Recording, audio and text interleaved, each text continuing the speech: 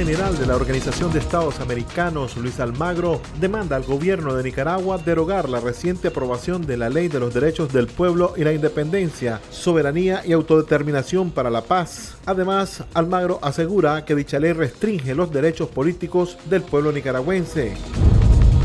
Tras siete días de detención, fue dejado en libertad el joven TikToker Kevin Monzón. Su abogada defensora asegura que no había ninguna causa para su tercer arresto por parte de la Policía Nacional.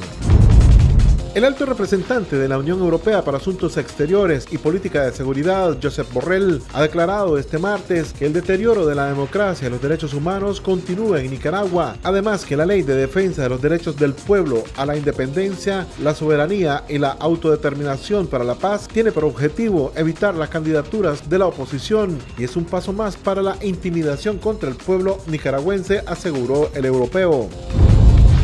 La Organización Mundial para la Salud ha manifestado que la nueva cepa del coronavirus descubierta en el Reino Unido, pese a que se propaga más rápidamente, no está fuera de control. Además, han alertado de la importancia de duplicar el apoyo a los de salud poniendo en práctica las medidas de seguridad.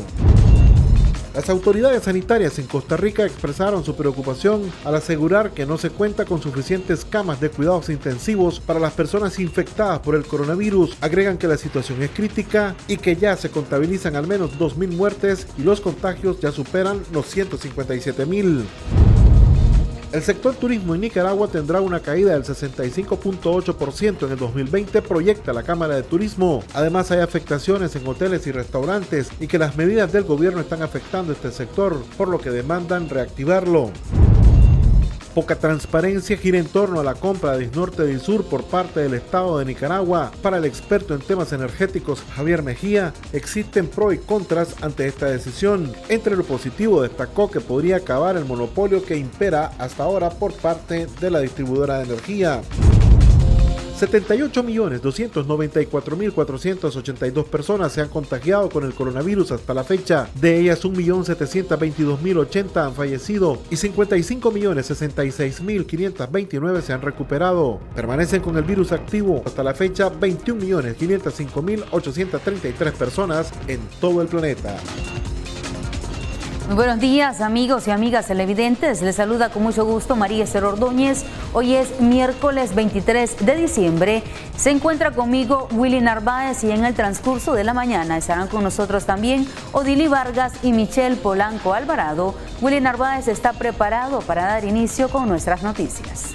Buenos días, María Esther Ordóñez y nuestros amigos televidentes que nos sintonizan a esta hora de la mañana dentro y fuera del territorio nacional. Iniciamos con nuestras noticias. Opositores respaldan el comunicado emitido por la Organización de Estados Americanos que exige la derogación de la ley de los pueblos. Alexa Zamora del Consejo Político de la Unidad Nacional refiere que la ley reciente aprobada deja claro a los nicaragüenses un proceso electoral ilegítimo para este 2021. Jocelyn Rojas nos cuenta más. En referencia al comunicado que emitió este pasado lunes la OEA, donde llama al gobierno a derogar la ley y reitera su llamado a que inicie un proceso con los diversos actores políticos y sociales del país para emprender las reformas electorales necesarias que garanticen elecciones libres, justas y transparentes, Alexa Zamora del Consejo Político de la Unidad Nacional asegura que la ley deja claro que los nicaragüenses estarían de cara a un proceso electoral ilegítimo para este 2021. El comunicado emitido por la Organización de Estados Americanos deja sumamente claro cuál es la perspectiva, cuál ha sido la percepción que tiene la comunidad internacional acerca de esta ley que ha sido aprobada recientemente que está claramente dirigida a todos aquellos ciudadanos que forman parte de la oposición y que además pretenden, dentro del legítimo uso de sus derechos, participar en los próximos comicios electorales, restringiendo además de manera arbitraria, porque estos criterios no son ni siquiera claros y no responden a ningún parámetro legal a nivel nacional o internacional, incluso como ha dejado claro eh, la Organización de Estados Americanos a través de secretario Almagro, esta ley es violatoria de los principios democráticos del sistema interamericano, asimismo de la Carta democrática de la OEA. La organización también señala que el intento de concurrir a elecciones impidiendo la participación de quienes legítimamente se ubican en la oposición del gobierno es un atentado a los derechos fundamentales. En Acción 10, Jocelyn Rojas. El alto representante de la Unión Europea para Asuntos Exteriores y Política de Seguridad, Josep Borrell, ha declarado que el deterioro de la democracia y los derechos humanos continúa en Nicaragua. El alto representante de la Unión Europea para Asuntos Exteriores y Política de Seguridad, Josep Borrell, ha declarado este martes que el deterioro de la democracia y los derechos humanos continúa en Nicaragua, incluida la represión de opositores políticos, manifestantes, periodistas y sociedad civil. Además, el funcionario refiere que la legislación reciente, como la aprobación de la Ley de Regulación de Agentes Extranjeros y la Ley Especial de Ciberdelitos, así como el proceso en curso de una reforma constitucional para instaurar cadena perpetua por crímenes de odio, definidos de manera imprecisa, endurecen las restricciones a los derechos civiles y políticos y libertades fundamentales. En sus declaraciones, Borrell se refiere también a la recién aprobada Ley de Defensa de los Derechos del Pueblo, a la independencia, la soberanía y autodeterminación para la paz. Asegura el alto representante que esta tiene por objetivo evitar las candidaturas de la oposición y es un paso más en la intimidación contra el pueblo nicaragüense, alejando al país del Estado de Derecho. La Unión Europea espera que las autoridades nicaragüenses alineen su legislación y garanticen su implementación de acuerdo con las obligaciones internacionales de derechos humanos, así como que promuevan el papel de la sociedad civil para que las organizaciones no gubernamentales y los movimientos de oposición puedan operar libremente.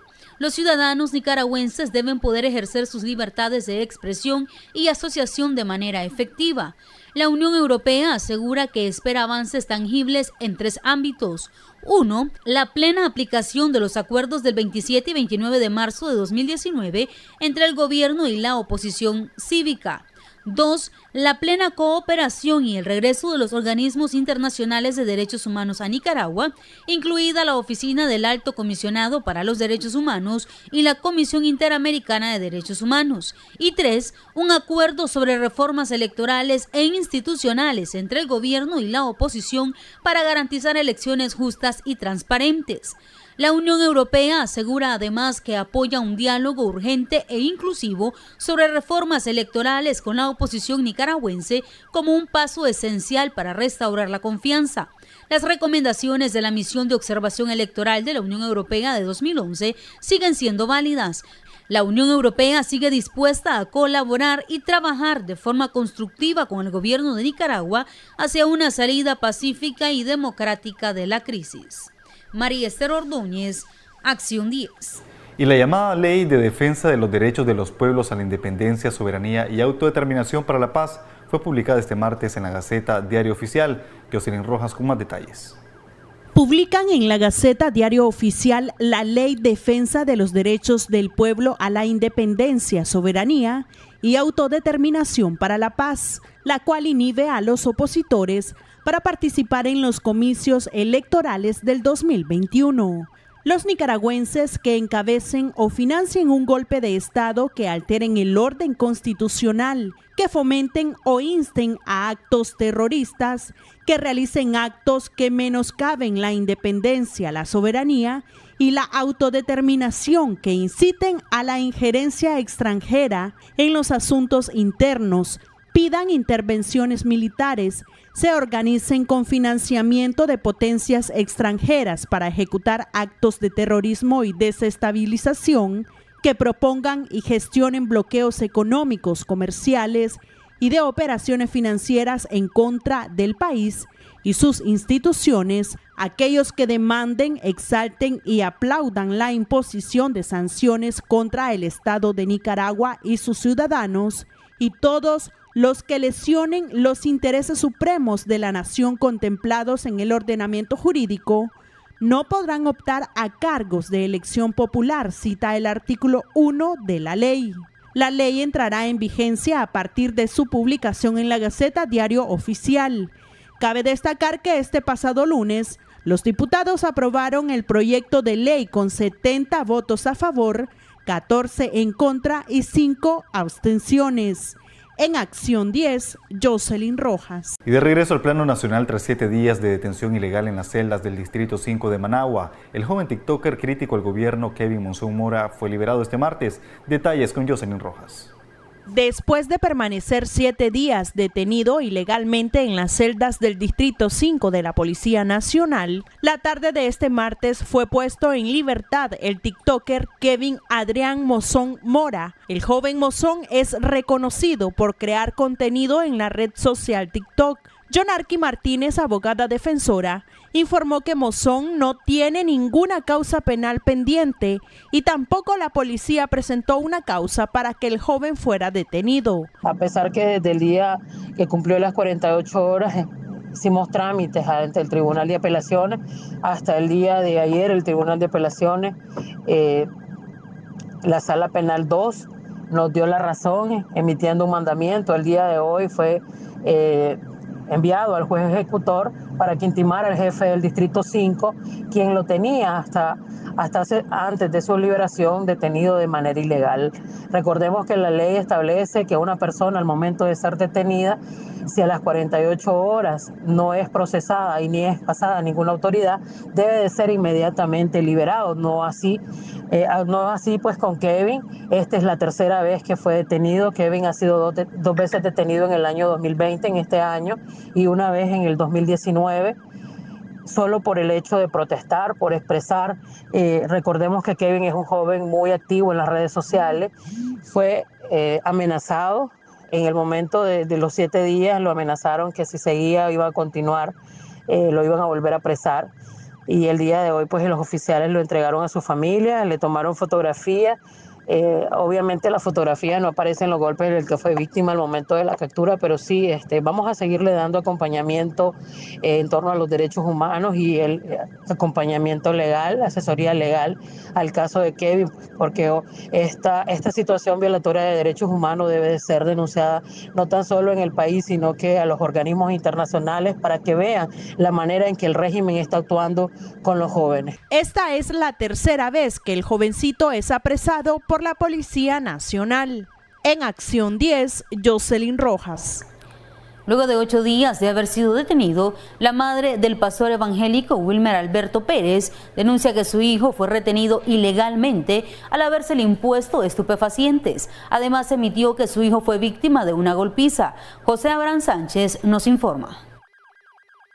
Como miembro de la Asociación de Familiares de Presos Políticos, exijo a la dictadura de Daniel Ortega que libere a todos los presos políticos. Hace ocho días el pastor evangélico y opositor azul y blanco Wilmer Alberto Pérez fue detenido en el malecón de Managua cuando se recreaba con su esposa. Ahora está siendo procesado por supuesta tenencia de estupefacientes, según su progenitora, quien asegura se encuentra golpeado y sin derecho a visitas ni alimentos libertad para todos los presos políticos. Soy su madre. Me duele que me lo hayan golpeado. Está bien golpeado. Yo averigüé ahorita.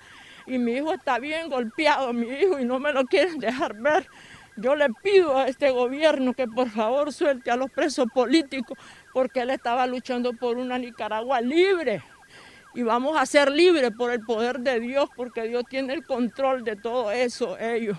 Su defensor, doctor Julio Montenegro, se refirió al caso tan insólito.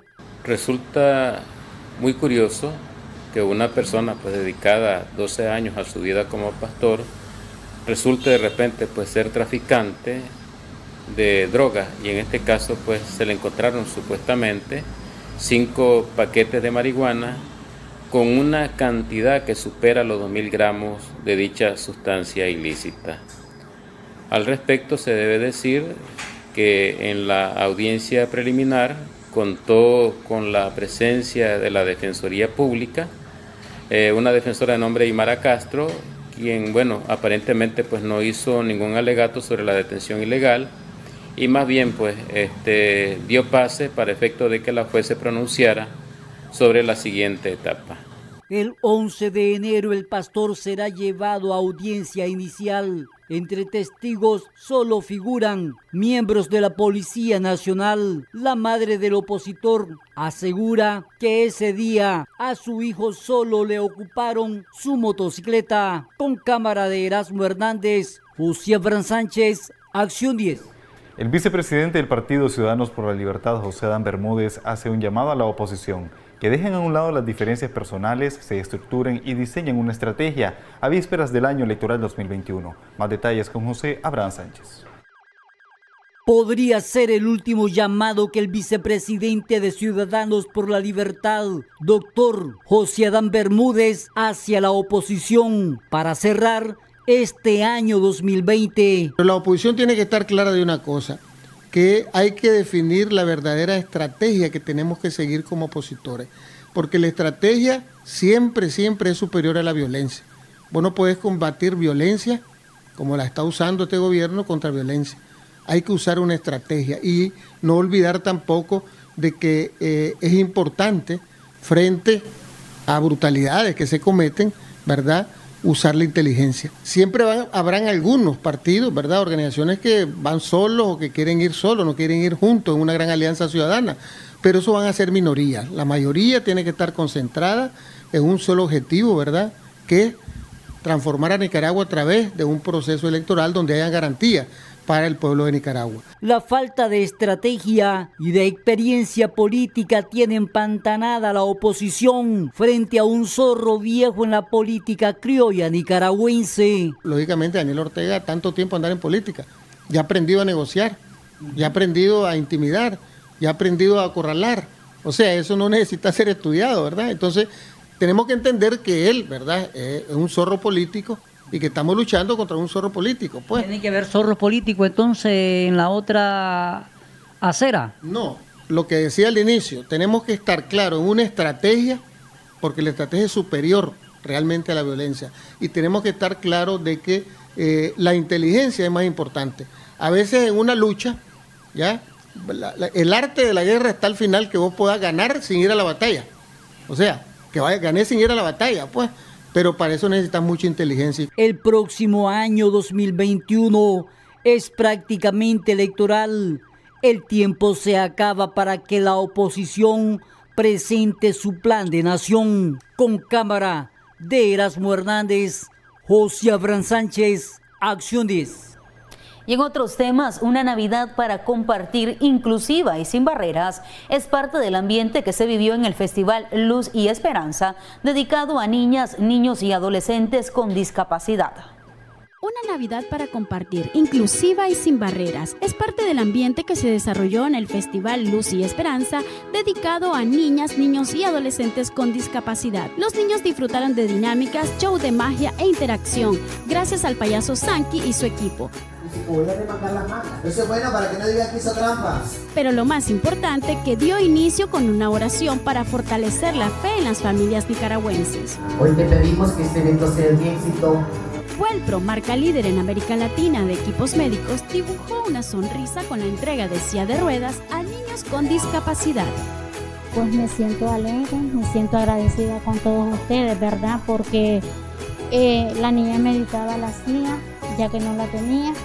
Ella tenía un cochecito, pero ya pues no está en buen estado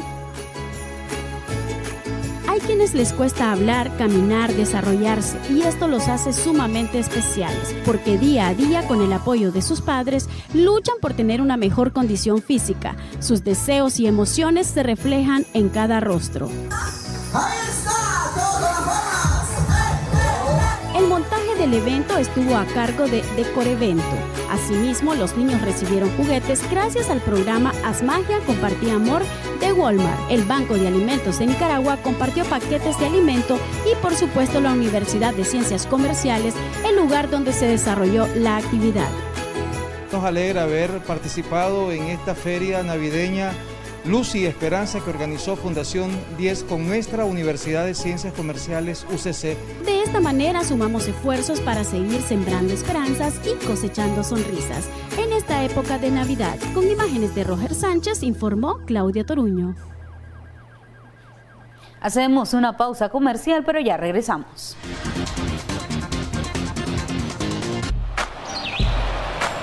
Ya regresamos con Acción 10 en la mañana.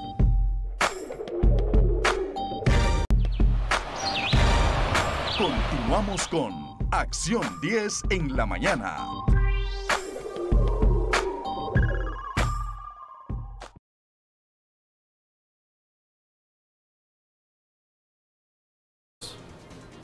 Muchas gracias por informarse con nosotros. Gran expectativa de ventas reportan comerciantes de pólvora, entre ellos uno de los puestos más grandes ubicado en Tizcapa. De igual manera, hacen un llamado responsable a los padres de familia en cuanto a la manipulación de la pirotecnia en los niños. Más detalles con José Abraham Sánchez. Escapa uno de los puestos de venta de pólvora más grandes de la capital. Los comerciantes esperan que el 23 y 24 de diciembre puedan recuperar su inversión, pues el año no ha sido el mejor. Este año sí está duro. En todos los lugares está la venta baja. Todos los lugares, el departamento, todo, todo, todo. todo está bajo. La expectativa que tenemos es que la gente se desborde para el 24 porque siempre pasa lo mismo, que se mira frión y después la noche es la que responde, la tarde, todo el día. Sí, entonces estamos esperando pues nuestros clientes, estamos esperando primeramente Dios que, vengan, a pesar pues de todo lo que los hemos pasado, ¿verdad? Entonces estamos esperando y estamos pidiéndole al Señor pues que nos vaya un poquito bien. El precio siempre se mantiene y favorables para el bolsillo de las personas aquí los esperamos. Y a la misma vez un llamado a los padres pues que, sean responsables con el uso. Claro, que sean responsables con el uso de la pólvora con los niños, que estén ahí con ellos cuando quemen la pólvora.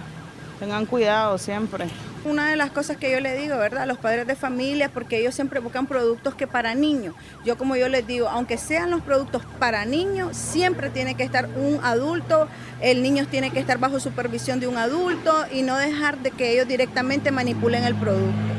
Entonces eso es lo que le decimos siempre al cliente. Ahora ofrecen los famosos viejitos y gigantonas que ya forman parte del folclore nicaragüense. Una vez más advierten a los padres de familias que no hay pólvora que sea inofensiva para un niño. Son los mismos progenitores que deben manipular los juegos pirotécnicos que dan ese toque festivo a las actividades navideñas. Con cámara de Erasmo Hernández, José Abraham Sánchez, Acción 10.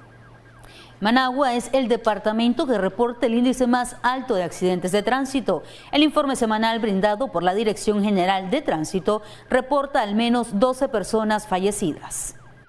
Managua sería el departamento que más reportó accidentes de tránsito, según el informe semanal de la Dirección de Tránsito Nacional. En la capital, durante la última semana, se reportaron 665 de un total de 842 ocurridos a nivel nacional. En el reporte de la policía detalla que en estos accidentes 14 personas fallecieron, 12 de ellas eran conductores, un pasajero y un peatón, otras 23 resultaron lesionadas. Ocho de las muertes reflejadas en este informe han ocurrido por conducir en estado de ebriedad, tres por no guardar la distancia y conducir a alta velocidad. Los motociclistas son los que encabezan la lista de accidentes en el país. Xochil Mendoza, Acción 10. Continuamos con Acción 10 en la mañana.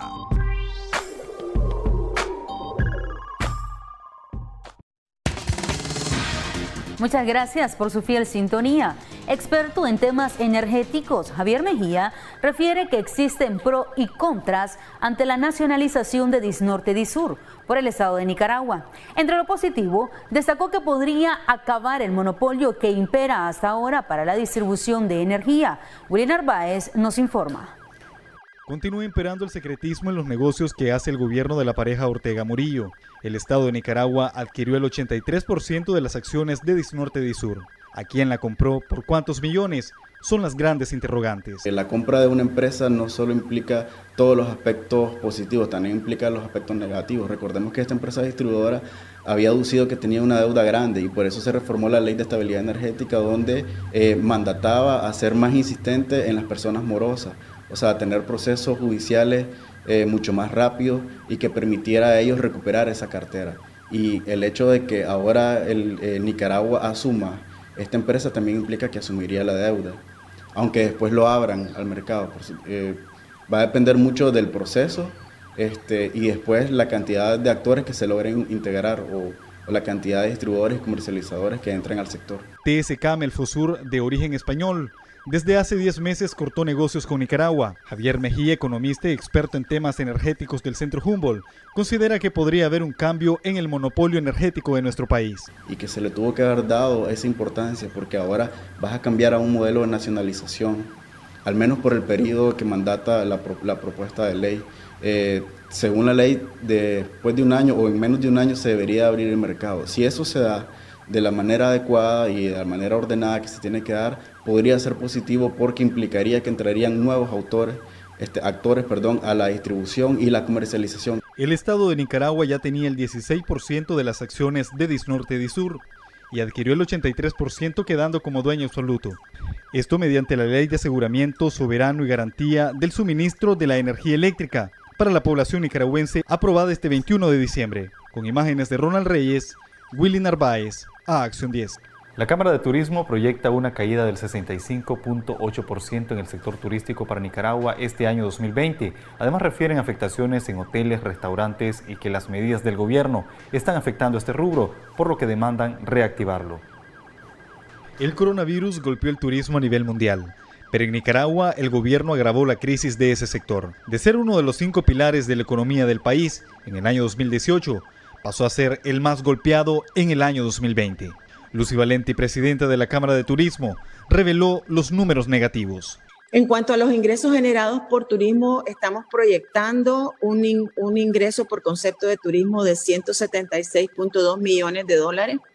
Eso representa un menos 65.8% con respecto al año 2019 y un menos 68% con respecto a lo que se había proyectado para este año 2020. Eh, según Canatur, en Nicaragua no ha sido posible normalizar la operación de aerolíneas para reactivar el turismo debido a que el gobierno impuso medidas de difícil cumplimiento por el coronavirus. Los altos costos de las pruebas y el tiempo previo para viajar con las que son requeridas desincentivan el turismo centroamericano. Solo necesitamos que el gobierno asuma su rol de facilitador y adopte las medidas necesarias para permitir la reactivación. En la conferencia también estuvo presente Carlos Chuse, vicepresidente de Canatur, y René Hauser, presidente de la Cámara Nicaragüense de Restaurantes. Veremos qué sucede en este 2021, pero tenemos eh, esperanza de que las cosas mejoren, pues. En la presentación se dieron a conocer resultados de la encuesta realizada por la Fundación Nicaragüense para el Desarrollo Económico y Social FUNIDES, donde refleja que más del 50% de las empresas cerró operaciones en algún momento este 2020 y hubo hasta un 45% que tomaron la decisión de despedir a su personal. Willy Narváez, a Acción 10. Considerable incremento en los casos de desempleo en el país se reporta este 2020, tras el tercer año consecutivo de recesión económica ante la crisis sociopolítica y la pandemia del COVID-19. Kaylin Espinales nos informa.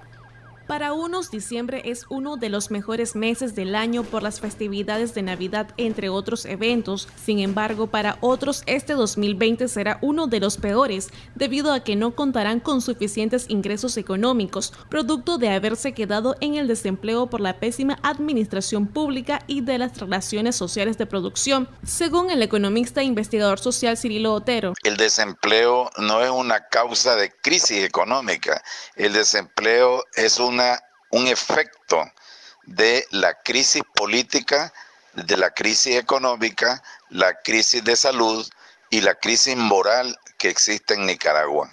La cifra en 2020 se ha elevado hasta el 32.7%, es decir, hay 210 mil personas más desempleadas, por lo cual al finalizar el año sumarían un total de 2 millones que no generarán ningún tipo de ingreso económico en sus hogares. Del 2017 al 2020, que casi ya estamos rayando el 2021, evidentemente ha cambiado y no ha cambiado la cifra o el porcentaje del desempleo para bien, sino que para mal. Datos oficiales para el desarrollo empresarial reflejan que solo en 2017 el 21.3% de la población económicamente activa estaba sin ningún puesto laboral. Nicaragua este año ha enfrentado el impacto de la pandemia que agudizó más a una situación económica en los distintos sectores y en noviembre dos huracanes ETA y IOTA generaron daños en la producción agropecuaria. Para Acción 10, Kaylin Espinales.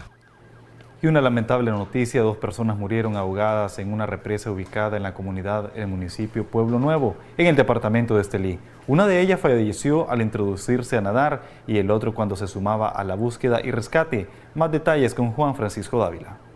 Un jovencito identificado como Darwin Suárez Rivera y un señor llamado Freddy Guzmán Morales de 46 años murieron ahogados la tarde de este lunes en una represa ubicada en la comunidad de Los Atillos en el municipio de Pueblo Nuevo, departamento de Estelí. Según testigos, Suárez Rivera no sabía nadar bien y después de llegar al lugar con unos amigos, decidió introducirse en el agua y ya no volvió a salir.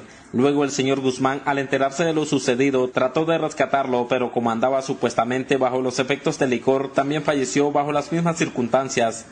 La primera víctima no era de la comunidad y al parecer andaba visitando a unos familiares, por ende desconocía las características de la represa, la cual tiene una dimensión considerada y cerca de alambres en la profundidad, ya que en el verano es utilizada como huerta. Después de una intensa búsqueda y ubicación, ambos fallecidos fueron rescatados por miembros del Cuerpo de Bomberos de Pueblo Nuevo y de Estelí, así como también con apoyo de la comunidad. En Pueblo Nuevo, Estelí, Juan Francisco Dávila, Acción 10. Una rastra que transportaba 560 quintales de cemento se volcó a la altura del kilómetro 26 y medio de la carretera entre San Rafael del Sur y el crucero, al aventajar a otro vehículo. Afortunadamente solo se reportaron daños materiales. Una rastra que transportaba 560 quintales de cemento sufrió un volcón a la altura del kilómetro 26 y medio de la carretera entre San Rafael del Sur y el crucero cuando aventajaba otro pesado vehículo que estaba parqueado en la pavimentada debido a desperfectos mecánicos y al parecer por falta de pericia del conductor se salió de la vía y por el peso de la carga se dio el accidente. Sergio Jiménez, conductor del cabezal, se negó a dar su versión o alguna explicación del incidente. Sergio, quería darte tu versión del accidente. Está bien, gracias. La rastra que se volcó y la que estaba parqueada se dirigían de San Rafael del Sur a Managua. Afortunadamente nadie resultó lesionado, solo el conductor Sergio Jiménez sufrió el susto, además de los daños materiales, debido a que el accidente se produjo en una pendiente conocida como la subida del Topón, causó el congestionamiento y atraso vehicular, principalmente de rastras cargadas con cemento procedentes de San Rafael del Sur. El cemento que era transportado en la rastra volcada fue trasladado a otro pesado vehículo para ser llevado a su destino. Oficiales de la Policía de Tránsito se presentaron a darle cobertura a este accidente.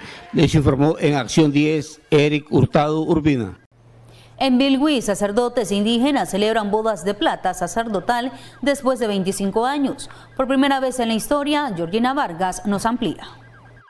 Han pasado ya 25 años desde que el padre Floriano, Rodolfo y Fernando Zamora fueron ordenados curas de la Iglesia Católica, pero los sacerdotes católicos de la etnia misquita, Floriano Seferino Vargas y Rodolfo Frenchnar, celebran por primera vez en la historia, con dos solemnes Eucaristías, una en Huaspán Río Coco y otra en Santa Clara, sus bodas de plata sacerdotales al cumplir sus 25 años de labor sacerdotal y también de labor social del Caribe Norte y sur de Nicaragua. Yo soy indígena de la etnia Misquita. Mi origen es de Río Poco Abajo.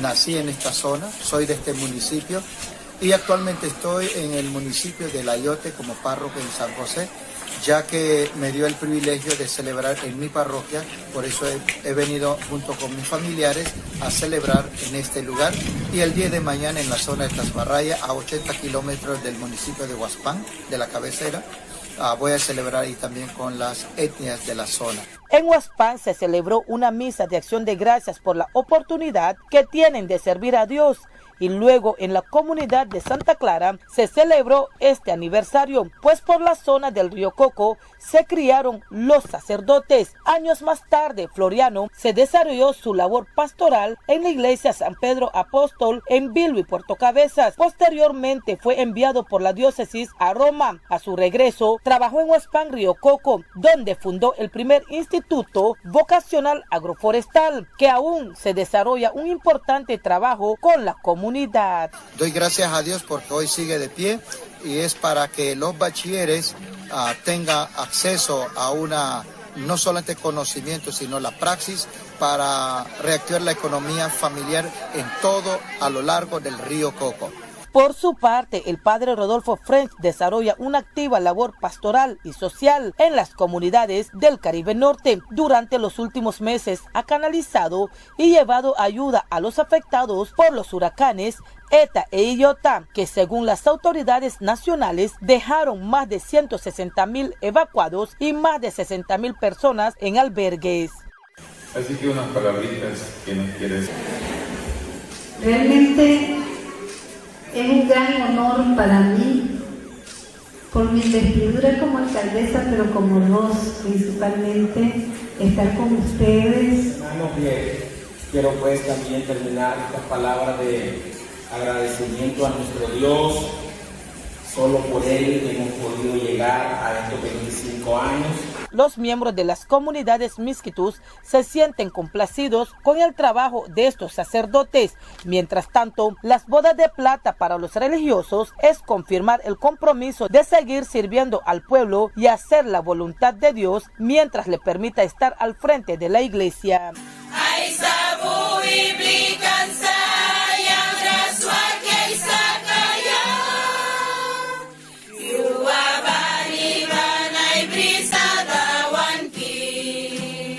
Desde la ciudad de Bilbo y Puerto Cabezas les informó para Acción 10, Georgina Vargas. Continuamos con Acción 10 en la mañana.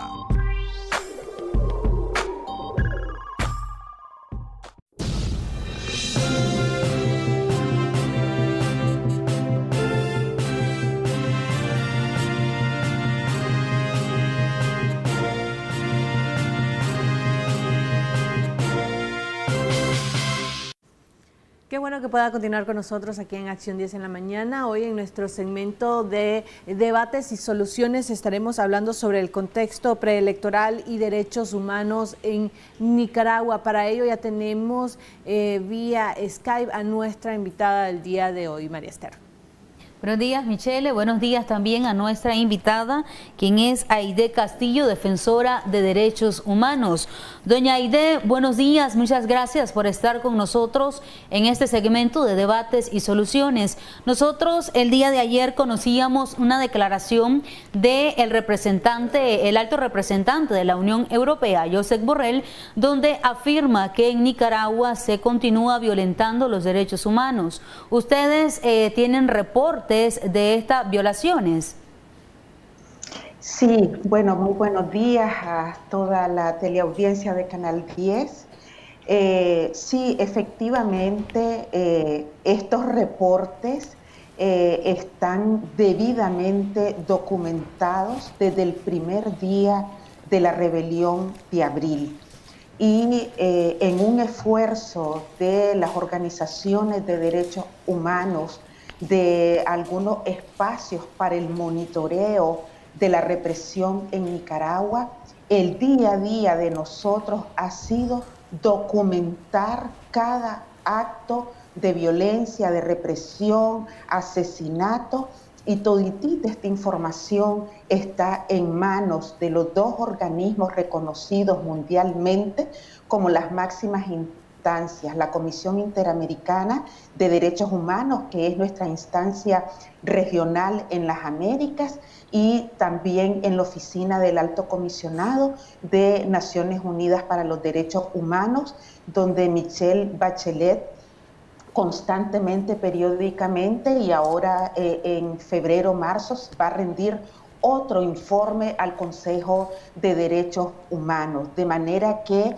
nada de lo que se dice internacionalmente del nivel de criminalidad de la dictadura Ortega Murillo es eh, eh, algo eh, falso, infundado, sino que todo está debidamente documentado. Y a eso sumémosle los informes del GIEI y el MECENI que están realmente pues con toda la documentación y eso es lo que da fe pues al actuar de la comunidad internacional.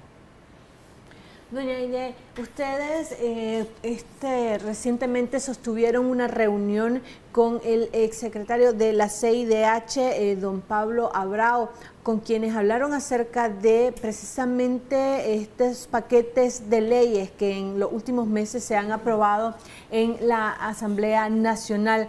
¿Cómo es eh, que estas leyes o cuál ha sido la impresión que el señor Abrao ha brindado alrededor de, estas, eh, de estos paquetes de leyes que se han aprobado y sobre todo la última eh, que se aprobó en esta semana? Sí, en este análisis que hicimos el sábado, porque como nicaragüenses en el mundo, nicaragüenses en el exilio, eh, algunos territorios de dentro de Nicaragua, del Grito de Abril, eh, decidimos encontrarnos este sábado como un preámbulo a Navidad, sentarnos, platicar entre nosotros e invitamos pues a Pablo Abrao, al exdirector de la CID, a, que nos diera su testimonio y refrescara un poco eh, todo el dolor que ha vivido Nicaragua en estos dos años eh, y medio. En esta conversación analizábamos estas leyes y llegamos a la conclusión, en primer lugar, eh, yo creo de que no tenemos que asombrarnos de este comportamiento de la dictadura, porque estas leyes lo único que vienen a hacer es a legalizar un comportamiento que lo ha tenido desde 2007, cuando la dictadura Ortega Murillo llegó al poder. De manera que para nadie es un secreto que en Nicaragua no hay pluralidad ideológica, que en Nicaragua no hay libertad de expresión, que en Nicaragua es un pecado hasta publicar algo en las redes sociales, eh, recibir recursos del exterior para eh, hacer un trabajo de defensoría de derechos humanos o trabajar simplemente en una consultoría, eh, se ha vuelto un pecado en Nicaragua. Entonces, en realidad nosotros a la conclusión que llegamos es que su actitud y su comportamiento criminal ahora lo lleva a un marco legal. Eso es lo que implican estas leyes que está haciendo el régimen.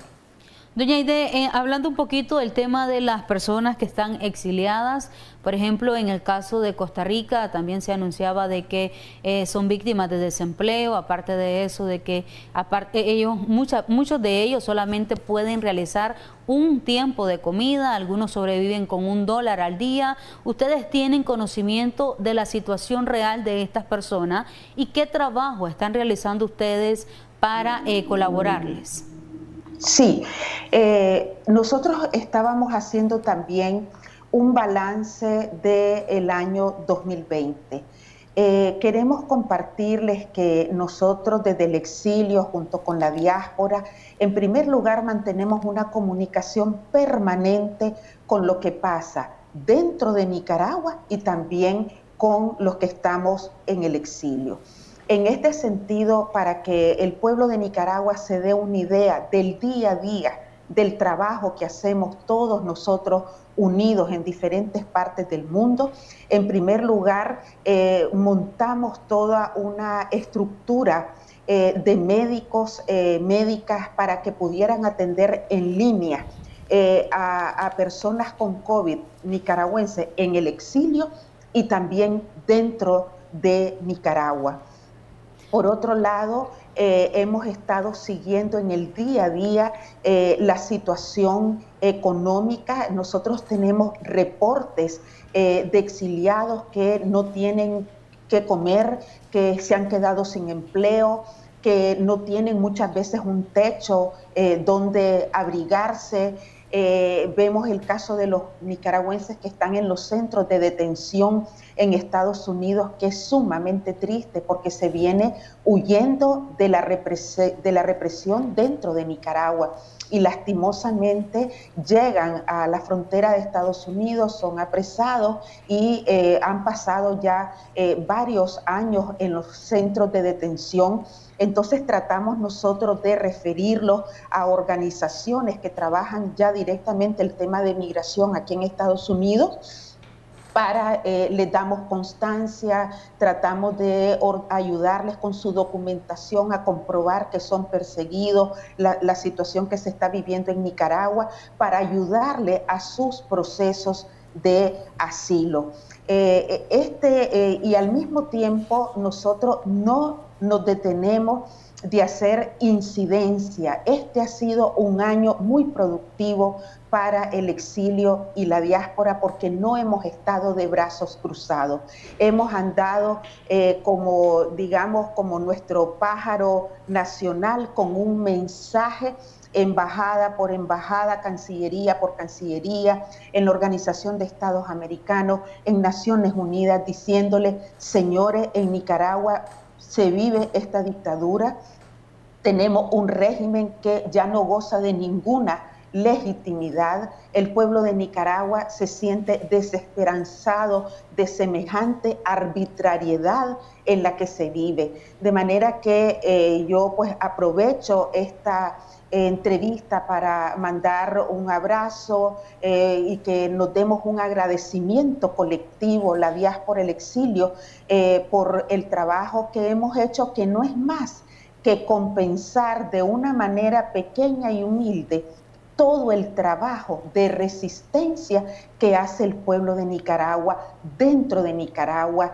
eh, eh, siendo perseguido día a día y con las patrullas al lado, lo que están haciendo nuestros presos políticos en las cárceles, que desde allí ellos siguen clamando eh, por libertad. Entonces creo de que ha sido un esfuerzo hermoso y esa es una de las cosas más importantes en el balance 2020 de, en decir que el pueblo de Nicaragua, a pesar de que ya llevamos dos años y medio en este calvario, no renuncia a la posibilidad de verse libre de semejante dictadura con estos altos niveles de criminalidad pero al mismo tiempo eh, comentarles de que en esta conversación que tuvimos el sábado, donde participaron liderazgos de la academia, liderazgos eh, eh, de la sociedad civil, de los movimientos sociales, exilio, diáspora, territorio, hasta periodistas independientes,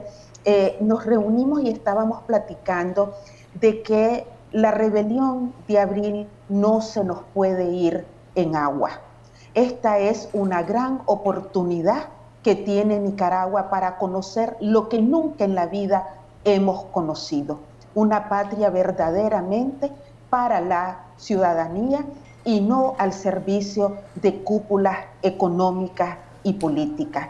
Y allí acordamos abrirnos a una gran concertación por el país, pedirle a todos los liderazgos nacionales que este es el momento de verdad y justicia, que la agenda electoral no puede sustituir la agenda de los derechos humanos, porque si hay algo que caracteriza la rebelión de abril, es una reacción del pueblo nicaragüense ante tantas violaciones a derechos humanos.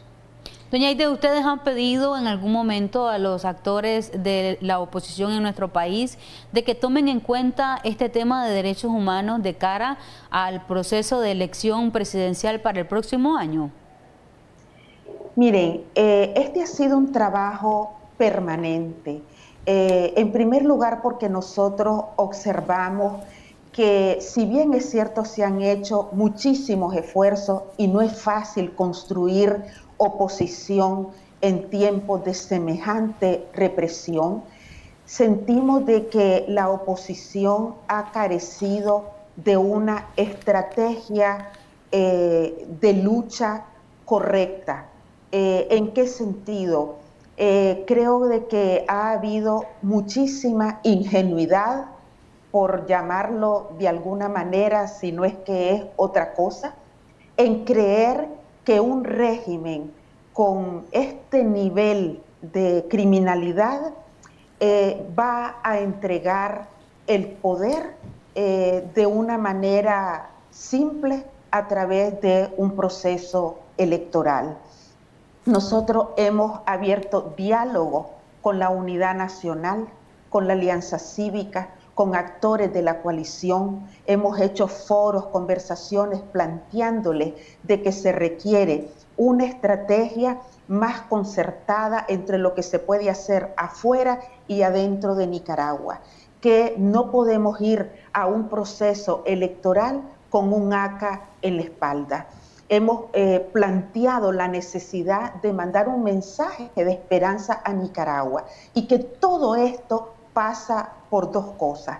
Uno, de que dejemos de deslegitimarnos, que dejemos de competir, que dejemos los egos para pasar a una concertación y poner a Nicaragua, al pueblo, al más desposeído, en primer lugar. En segundo lugar, hemos propuesto que no podemos ir con ese pragmatismo resignado a un proceso electoral a más de lo mismo. Yo estaba leyendo hace poco cómo Pedro Joaquín Chamorro Alfaro, eh, que gobernó en los 30 años de los gobiernos conservadores en la historia de Nicaragua, decía que el buen político es aquel que sabe atemperarse a las circunstancias. Él trataba de decir sabe acomodarse. Nosotros creemos que esa cultura política debe terminar y que los más de 300 muertos de abril, los más de 150 mil exiliados, todos los presos políticos, las víctimas, todos los que están sufriendo por hambre en Nicaragua o por estar en una institución del Estado obligados a darle gracias a la pareja presidencial, merecemos un mejor país, una mejor eh, clase política y un cambio de cultura, de no resignarnos. Entonces, sí hemos conversado, sí lo hemos planteado, no siempre hemos tenido receptividad, pero decirle, y nosotros queremos anunciarle a la nación, que en este momento estamos iniciando un proceso de concertación entre actores de la sociedad civil, de movimientos sociales, de defensoría de derechos humanos, para concertar una agenda que vuelva a poner en el centro el tema de verdad, de justicia y de democracia, porque no es posible asistir a un proceso electoral donde vamos a ir a maquillar una salida o prácticamente a compartir el poder con una dictadura cuando nosotros sabemos que la causa estructural de todos los problemas de la nación no solo es la pareja presidencial, es todo un sistema político, económico que ha sangrado al pueblo a través de la historia. Y hoy tenemos esa hermosísima oportunidad. El otro aspecto importante es que nosotros también hemos reflexionado de que no podemos como pueblo nicaragüense delegar el poder, darle cheque en blanco a nadie, como, como prácticamente hemos visto que la dictadura, eh, una contratación temporal para que administrara la cosa pública, eh, como, como cuando llegó en el 2007, prácticamente se tomó ese contrato como que el pueblo de Nicaragua le había dado un cheque en blanco para que administre a Nicaragua como su finca. Esos tiempos se tienen que terminar y tenemos que dar a luz a lo nuevo. Nicaragua lo merece y las víctimas lo merecen. Aide, ustedes son de los que consideran que no se debe ir a elecciones, por ejemplo, en este contexto en el que hay una serie de leyes que, según los eh, especialistas, atropellan los derechos ciudadanos de los nicaragüenses y además no se debe ir a elecciones sin eh, o con presos políticos. Sí, mire, en primer lugar, como defensora de derechos humanos, eh, yo no puedo decir ni nosotros podemos decir que hay que renunciar a elegir a nuestros gobernantes porque ese es un derecho humano conquistado a través de la historia. No podemos renunciar a ese derecho, pero para ejercer ese derecho tienen que haber condiciones necesarias, un clima habilitante para que usted pueda acudir a un sufragio con toda su libertad de conciencia, que nadie le presione, que nadie le coercione por quién debe votar, eh, ni tampoco ir en condiciones total de desventaja. Nosotros lo que estamos planteando es, en primer lugar, que eh, tenemos que aprender de los errores. Podríamos decir de que eh, hemos ido a, prueba y error durante dos años y medio.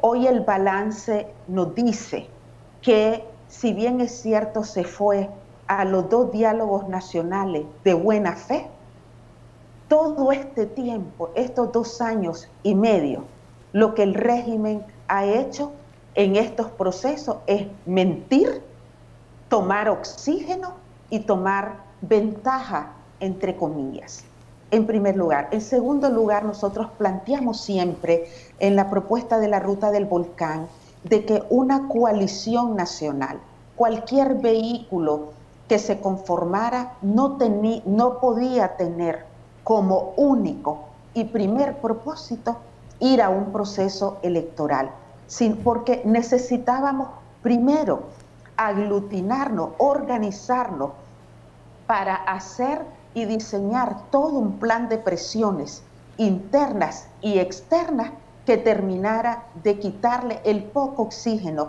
que tiene la dictadura. No obstante, esa coalición se conformó con un interés primordial electoral, una arquitectura y más bien, en vez de unir ese propósito con el que se juntaron, más bien lo que llevó fue a una gran dispersión y volvió a, resurgir la cultura política de Nicaragua que también está en algunos azul y blanco. Esa cultura política de quitarte vos para ponerme yo. Eh, vimos lo que pasó con el Partido Liberal, vimos cómo la Alianza Cívica se separó de la UNAP. Entonces empezaron a relucir otra vez esa cultura política donde no se pone a la nación en primer lugar. Entonces nuestro planteamiento es, en primer lugar, llegará el momento en que Nicaragua tenga, ejerza el derecho al sufragio. Pero nosotros tenemos que ser enfáticos en decir que no podemos ir a ejercerlo para ir únicamente a legitimar al régimen. Doña Aide, usted decía de que están trabajando en un plan o en un proceso de concertación. ¿Qué específicamente trataría este proceso? ¿Qué es lo que conlleva? Sí, este proceso lo que pretende es que eh, Nicaragua en este momento tiene un gran vacío. Nicaragua no ve dónde está la opción, que es, eh, digamos, nosotros queremos salir de lo viejo, que es la dictadura, de la criminalidad, de la injusticia, de, la corrupción, del robo, de todo lo que ya sabemos, para instaurar lo nuevo, que es lo que la rebelión de abril quiere. En este tránsito todavía hay un gran vacío, no se identifica una estrategia, no se identifica cuál es la oferta a la nación para salir de lo viejo y qué es lo nuevo que vamos a instaurar. ¿Quiénes lo van a instaurar? ¿Quiénes gozan de esa autoridad moral? ¿Cómo hacemos para que verdad y justicia no quede desplazada por una simple campaña electoral?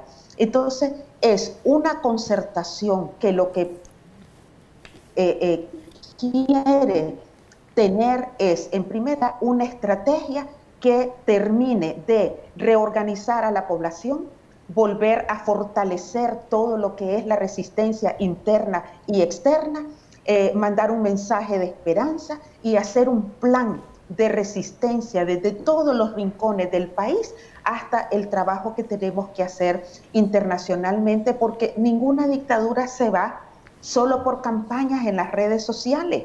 Necesitamos hacer un trabajo sostenido por la liberación de los presos. No pueden andar los familiares solo, ellos enarbolando esa bandera o tenerlo solo en el discurso o en una foto en Facebook o en Twitter. Entonces, eh, estamos planteando una concertación para hacer una estrategia que eh, eh, renueve todo ese proceso de resistencia, de organización, de articulación, de construir una estrategia y definir juntos, colectivamente, cuál es el plan de gobierno de ese nuevo gobierno. Eh, eso en primer lugar. En segundo lugar, abrirnos a una concertación entre nosotros. Pero aquí también nosotros queremos ser humildes en decir, no es venir y sentate a mi mesa como en Navidad.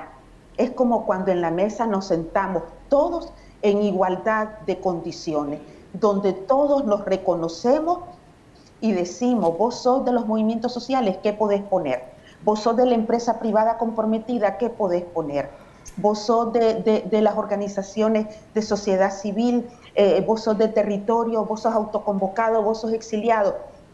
Eh, unirnos en esta concertación para por fin presentarle a Nicaragua y decir, esta es juntos el camino que vamos a andar y mostrarle a la comunidad internacional, miren, esta es la propuesta, un camino concertado, porque a este momento la comunidad internacional también nos dice, señores, yo no sé quién es el interlocutor, dentro de Nicaragua para que surja lo nuevo, porque por un lado habla la Alianza Cívica, luego vemos un pronunciamiento del UNAP, luego vemos otro pronunciamiento de la Coalición Nacional, luego el movimiento campesino por otro lado, o sea, necesitamos realmente, ese es el propósito de esta concertación por Nicaragua, ver si tenemos la capacidad de sentar ya uno otros actores importantes de la nación que tienen una gran autoridad moral y están dispuestos también a acompañar este proceso de aprovechar lo que es la Navidad para eh, poder darle la bienvenida y poder mandar un mensaje de esperanza a Nicaragua de que pueden hacer lo nuevo y no podemos renunciar a eso. Doña Aide, hay un tema de que se ha abordado o que han opinado muchas personas en nuestro país, además de eso la oposición, y es el tema de que se pueda dar el voto en el extranjero. ¿Ustedes han abordado este tema? ¿Será posible que pueda llevarse a cabo? Sí, mire, nosotros eh, dentro de la plataforma de nicaragüenses en el mundo y también nicaragüenses en el exilio, eh, hemos reivindicado, está dentro de nuestros objetivos de trabajo. Eh, sabemos que el grupo de reformas, pro reformas electorales, lo contempló en la propuesta de reforma. Nosotros eh, hemos planteado esto dentro de la unidad nacional y lo hemos planteado a la comunidad internacional. Ese es un derecho humano que tienen todos los nicaragüenses en el extranjero y decir que este es un momento también para reconocer cuánto los nicaragüenses que están en el exterior aportan a las cuentas nacionales de Nicaragua, aportan eh, también al desarrollo socioeconómico.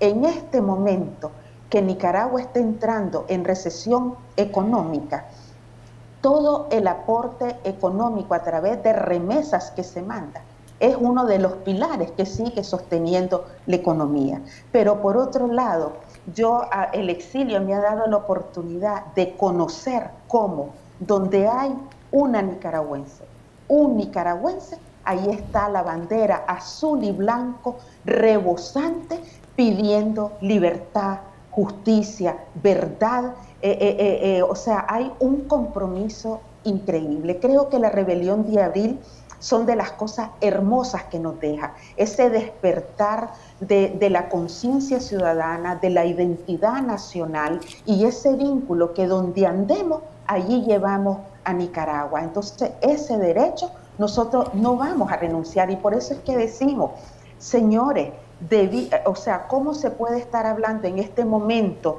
eh, de candidatura, de esto, de lo otro, si ni siquiera hay un plan para poder hacer las suficientes presiones para que hayan las reformas electorales necesarias. ¿Cómo podemos ir a elecciones con tres padrones electorales? ¿Cómo podemos ir a elecciones con ese Consejo Supremo Electoral en, que está bajo el control de la dictadura? ¿Cómo podemos ir a elecciones con parapoliciales en todo el país?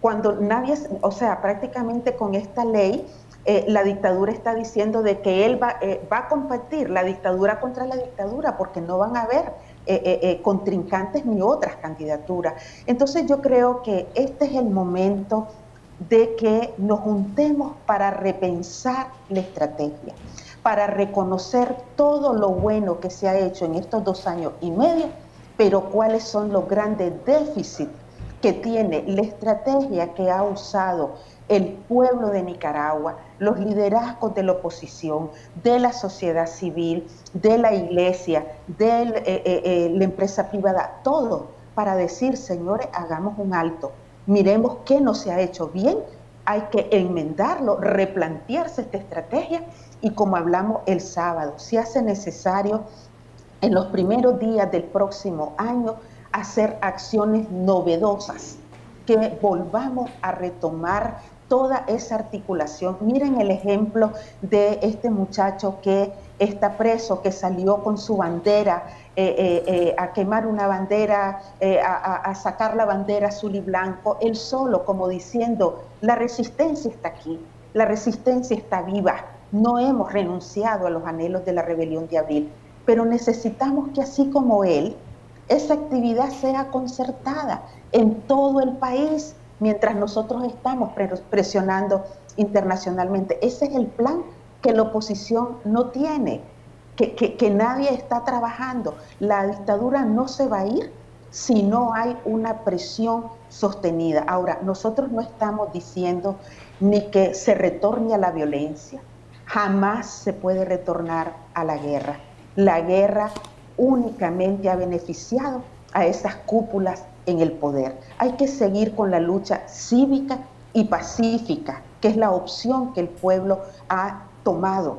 Pero necesitamos mayor inteligencia, sabiduría, planificación, articulación y concertación entre todos. Nadie puede solo en este momento. Excelente, doña Ide Castillo, por esas consideraciones alrededor del tema de los derechos humanos y lo que debería de eh, estar repensándose desde la oposición para eh, lograr eh, esas reformas electorales que la oposición y también que organismos internacionales han insistido se deben de hacer en nuestro país para lograr unas elecciones que sean transparentes, libres, como los nicaragüenses lo merecen. Así es, Michelle Polanco Alvarado. Nosotros vamos a hacer una pausa comercial, pero al regresar continuamos con otro invitado. Ya regresamos con Acción 10 en la mañana.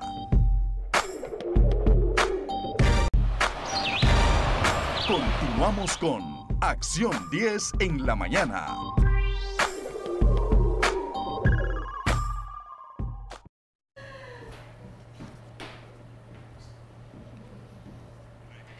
Muchas gracias por continuar en nuestra sintonía. Estamos abordando el tema del contexto preelectoral y además de eso, los derechos humanos en nuestro país. En la primera parte estábamos hablando con la defensora de derechos humanos, Aide Castillo, y a continuación se encuentra conmigo ya Guillermo Inser. Buenos días, Guillermo, ¿cómo estás? Buenos días, muchas gracias siempre por permitirnos dirigirnos al pueblo de Nicaragua y compartirles eh, el trabajo que seguimos haciendo de resistencia y de búsqueda de salida definitiva y estructural al régimen. Bien, contanos entonces un poquito cuál es el plan que ustedes están trabajando de cara ya a un proceso eh, preelectoral y aparte de eso, pues abordando siempre el tema de los derechos humanos en nuestro país. Sí, bueno, en, esta mañana vengo en representación de mi organización, que es la Articulación de Movimientos Sociales eh, y Organizaciones de Sociedad Civil, somos miembros de la Unidad Nacional, y eh, venimos eh, como parte de, una campaña para dar a conocer nuestro plan de lucha. ¿verdad? No es un plan de gobierno y no es precisamente un plan que esté limitado al contexto preelectoral. Nosotros esta semana hicimos una, el, lanzamiento para dar a conocer nuestro plan de lucha, donde establecemos 12 puntos que le llamamos la lucha por las dignidades, ¿verdad? Eh, cada una de esos 12 puntos establece una serie de, de, demandas y de anhelos que hemos venido nosotros recopilando desde antes del 2018, pero que hemos, digamos, logrado articular a partir del 2018. Ahí hablamos de lo que esperáramos de, cómo sea Nicaragua en materia de medio ambiente, en materia de equidad de género, de justicia social, de desarrollo económico, de educación, de justicia, de democracia, de, reestructuración de la institucionalidad. Eh, y estamos muy contentos porque la, la diferencia de nuestro plan de lucha con todo lo que hemos visto en Nicaragua es que ponemos al ser humano en el centro. ¿Verdad? Eh, y los derechos humanos en el centro. Y además de eso, eh, recogemos, digamos, todo un movimiento latinoamericano, yo diría, de, eh, además de poner los derechos humanos en el centro, de poner la dignidad de las personas, ¿verdad? Cosa que creemos que en Nicaragua es muy importante después de, de cómo la dictadura ha tratado inclusive a sus propios militantes, ¿verdad? Que los obliga a hacer cosas en las que no están de acuerdo, que los humilla, ¿verdad? Eh, eh, digamos, poniéndole condiciones para darle, otorgarle cosas que les, que, les corresponden por derecho. Hablo de las láminas de zinc, de, un trabajo, de una beca. Este, la, la, verdad es que este gobierno le ha quitado no solamente los derechos a las personas, sino también su dignidad. Y nuestro plan de lucha establece justamente revertir eso y, trabajar en Nicaragua bajo un enfoque diferente. Ok, dentro de este plan de lucha, ¿cuáles serían entonces los aportes que ustedes darían para cambiar a Nicaragua? Justamente eso, eh, eh, el, enfoque que le damos yo creo que es el, aporte más importante, ¿verdad? El enfoque basado en derechos humanos y en la dignidad de las personas. Eh, nosotros hacemos una diferencia bien grande en que no es un plan de gobierno, pero nosotros somos un movimiento social y los movimientos sociales tienen como, como, como fundamento, digamos, de su trabajo eh, eh, presionar a quien está en el poder. Por lo tanto, nosotros en este momento, a partir de, este instrumento, digamos, que tenemos, vamos en, primer lugar a incidir en la agenda de quienes aspiren al poder.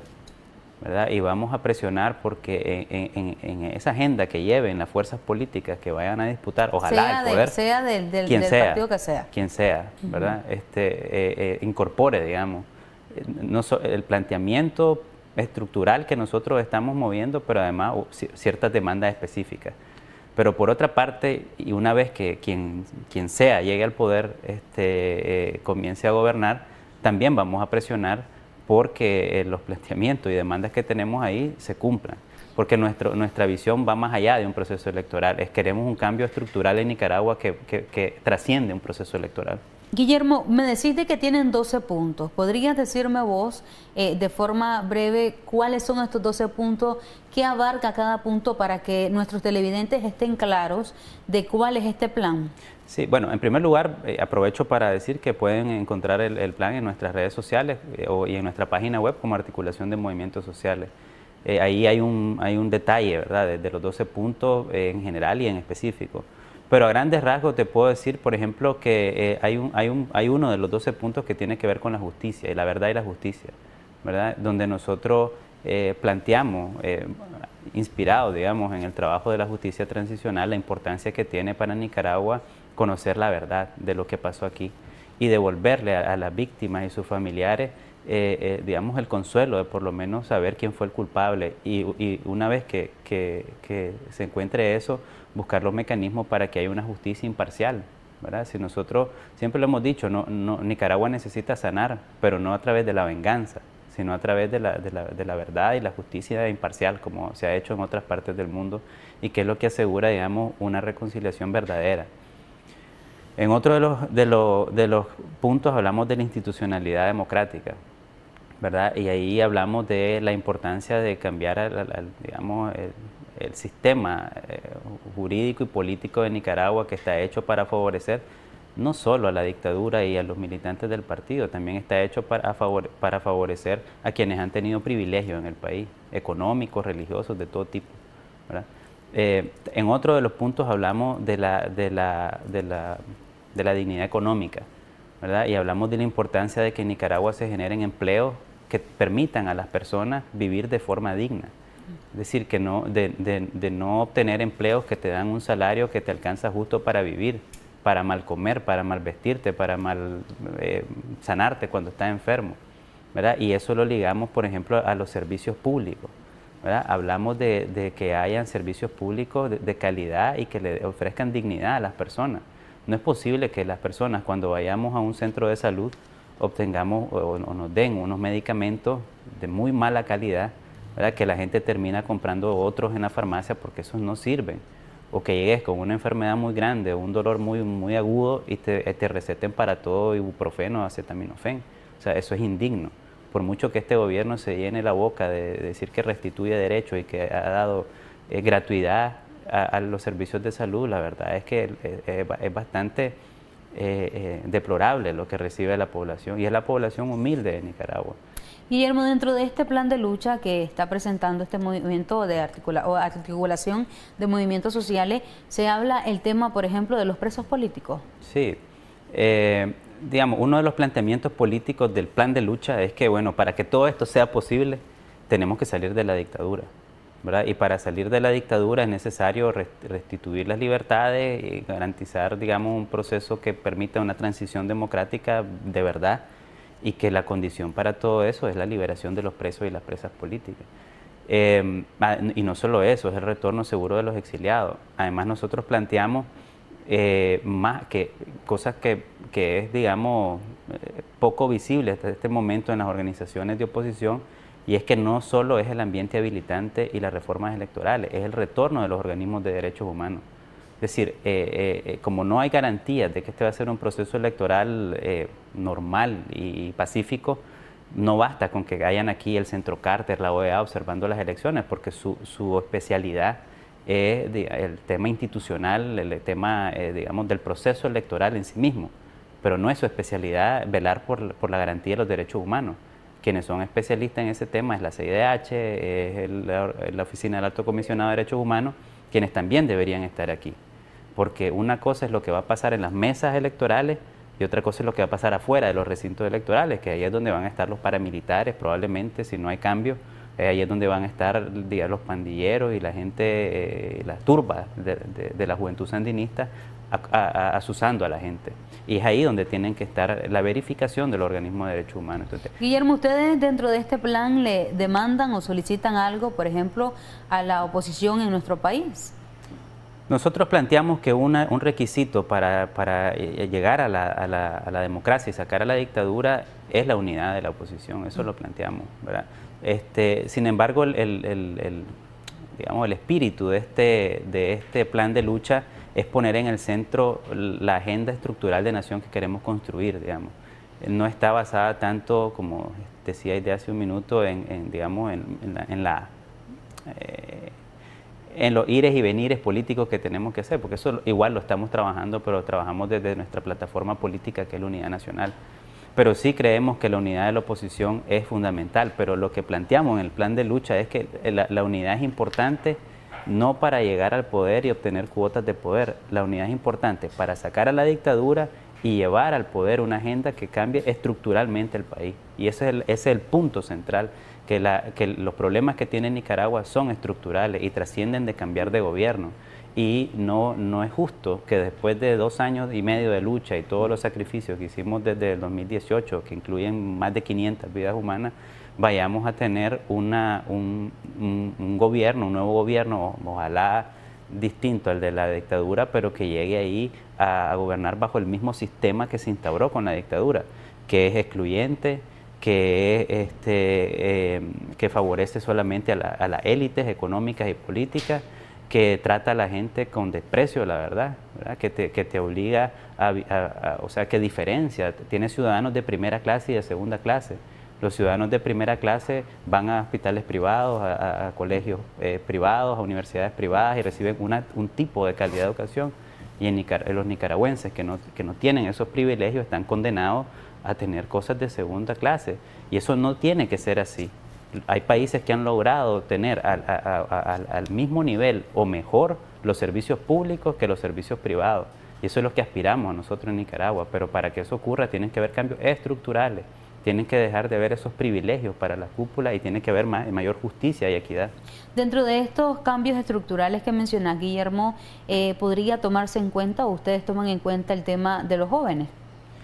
Mira, en Nicaragua atraviesa el bono demográfico, que, se está acabando, ¿verdad? El, bono demográfico es este fenómeno eh, poblacional, digamos, en el que Nicaragua tiene por un periodo determinado una, una proporción de jóvenes mucho más significativo, mucho mayor que la proporción de, adultos y, adultos mayores. Eso te da una enorme ventaja porque tenés un, país con, una gran mano de obra, ¿verdad? Que, le, con mucha productividad que se enferma menos, ¿verdad? Que, y además como se ha disminuido la tasa de natalidad, tiene menos dependientes. Entonces tenés a gente que puede trabajar para sí misma con una alta productividad y aportarle mucho al país. ¿Cuál es el problema? Que en Nicaragua no se ha invertido en la juventud de verdad. Aquí eh, eh, la dictadura se ha llenado la boca de, poner, de, llamarle juventud presidente, pero la verdad la, usa como, de manera cosmética. ¿verdad? Y el, modelo de desarrollo de la dictadura no está concentrado en invertir en la juventud y en, aprovechar, digamos, las ventajas que te da el fenómeno demográfico que tenemos. Lo que nosotros planteamos en cuanto al tema de juventud es que el, país requiere cambiar radicalmente la estructura económica y necesita darle a la juventud eh, la, la, calidad de educación suficiente que le permita aspirar a salarios, ¿verdad? Que que no, que no lo saquen solamente de la línea de pobreza, sino que lo lleven a vivir con dignidad económica, como planteamos nosotros, y con prosperidad. para eso se requiere que haya mejor educación primaria, secundaria, universitaria, que la juventud tenga salud, que la juventud esté protegida bajo el seguro social, porque aquí estamos ante, un, eh, ante, ante una enorme informalidad del empleo y eso significa que, no, que si te enfermas tenés que sacar de tu bolsa toda, tenés que pagar el INS y además tenés que pagar de tu bolsa los medicamentos y los médicos. Eso, eso no puede ser, eso tiene que cambiar. Guillermo, ¿cómo van a hacer ustedes para garantizar de que este plan no quede solamente en una hoja de papel? Porque vos sabés de que en estos momentos de que estamos de cara a un año electoral, aunque muchas personas no quieren de que se hable de que si vamos a elecciones, no vamos a elecciones, van a haber candidatos y van a haber muchas promesas. Mm. Entonces, ¿cómo pueden ustedes garantizar de que este plan de lucha o lo que estamos exigiendo o lo que se está exigiendo en el documento se cumpla, sea quien sea el presidente que, gane? El presidente, los diputados, los alcaldes, todo, ¿verdad? Porque, porque aquí a la dictadura hay que sacarla de raíz. Este, lo, lo que nosotros planteamos es mantener la organización. Eh, y la incidencia y la presión como movimiento social que somos, ¿verdad? Eh, tenemos que ser incómodos al poder, ¿verdad? Y tenemos que ser incómodos para todo el mundo, para, el régimen y para la oposición que quiera desviarse y, facilitarse las cosas, ¿verdad? E irse por el camino fácil, porque eso es lo que Nicaragua no quiere, ¿verdad? Aquí los cambios van a costar y tiene que haber organizaciones como nosotros que ejerzamos presión para que esos cambios se den. El plan de lucha nosotros lo articulamos entre movimientos sociales que están dentro y fuera de Nicaragua, de jóvenes, de adultos, de comunidad LGBTI, de ambientalistas, de feministas.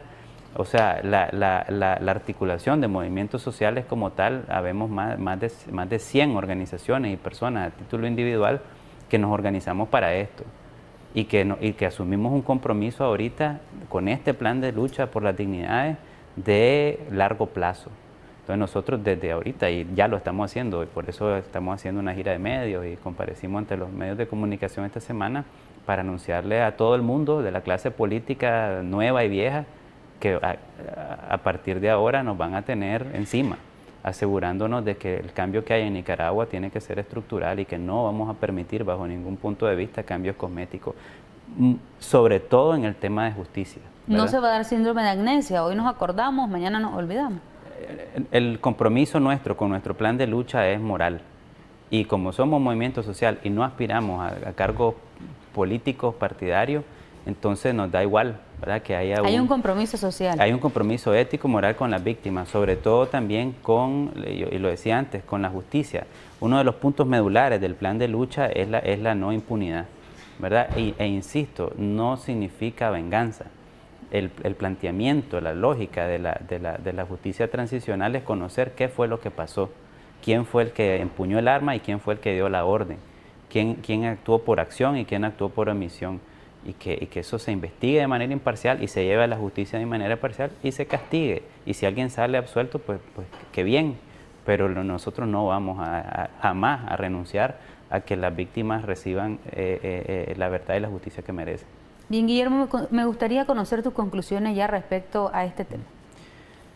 Yo lo que pienso es que es, un fenómeno bien importante lo que está ocurriendo en Nicaragua y que fue posible solamente gracias a la insurrección popular de abril.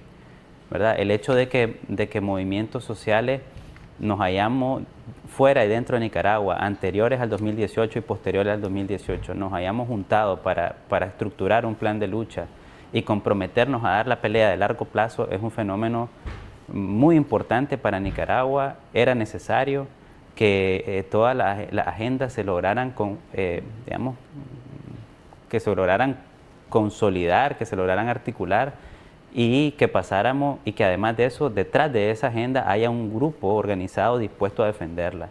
Y eso es lo que está anunciando la articulación de movimientos sociales hoy, que logramos eh, juntar esas agendas que estaban dispersas y darle una organización que la soporte, que la defienda y que se comprometa moralmente y políticamente a defenderla ante quien sea, sea el régimen, sea la oposición, sea quien sea. Es decir, es, una, es un compromiso con Nicaragua, no con la organización. Ok, muchísimas gracias entonces Guillermo por haber estado con nosotros, ¿verdad? Compartiendo este tema y a usted amigo televidente le recordamos de que puede ver esta entrevista a través de nuestras plataformas digitales en Facebook. Además de eso, el día de ayer estuvimos compartiendo el tema sobre aprobación de nuevas leyes en la Asamblea Nacional, riñen o no con la Constitución y fue eh, tuvo una aceptación de 47.255 personas alcanzadas. Además de eso, generó interacción en 1731. Nosotros vamos a hacer una pausa comercial, pero ya regresamos.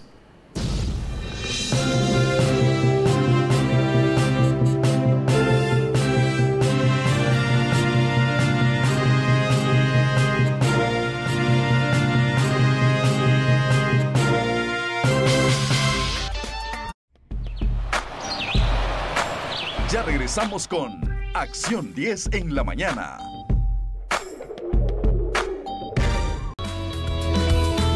Hola, hola, ¿cómo están? Bienvenidos como cada miércoles a un nuevo Aprendamos Juntos con Maru. Y estoy súper feliz porque ya mañana jueves es Navidad. Y hoy les tengo un proyecto súper genial para que puedan complementar esa cena súper familiar que vamos a tener este año. Recuerden siempre seguir todas las medidas y preocuparnos por los demás para que no nos vayamos a enfermar. Pero además de eso, que siempre esté lista y linda nuestra mesa, nuestra casita. Así que aprendamos juntos un nuevo proyecto en esta Navidad.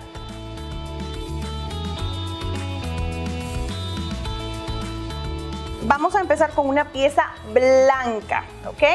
Lo segundo que vamos a hacer, vamos a contraponer el rojo sobre el blanco. Esta hoja blanca, por ejemplo, en particular mide 20 no, 30 centímetros, perdón, del 10 al 40 son 30 centímetros. Entonces, primero, lo primero que vamos a hacer es marcar la mitad. Llegamos hasta acá, ya tenemos marcada la mitad.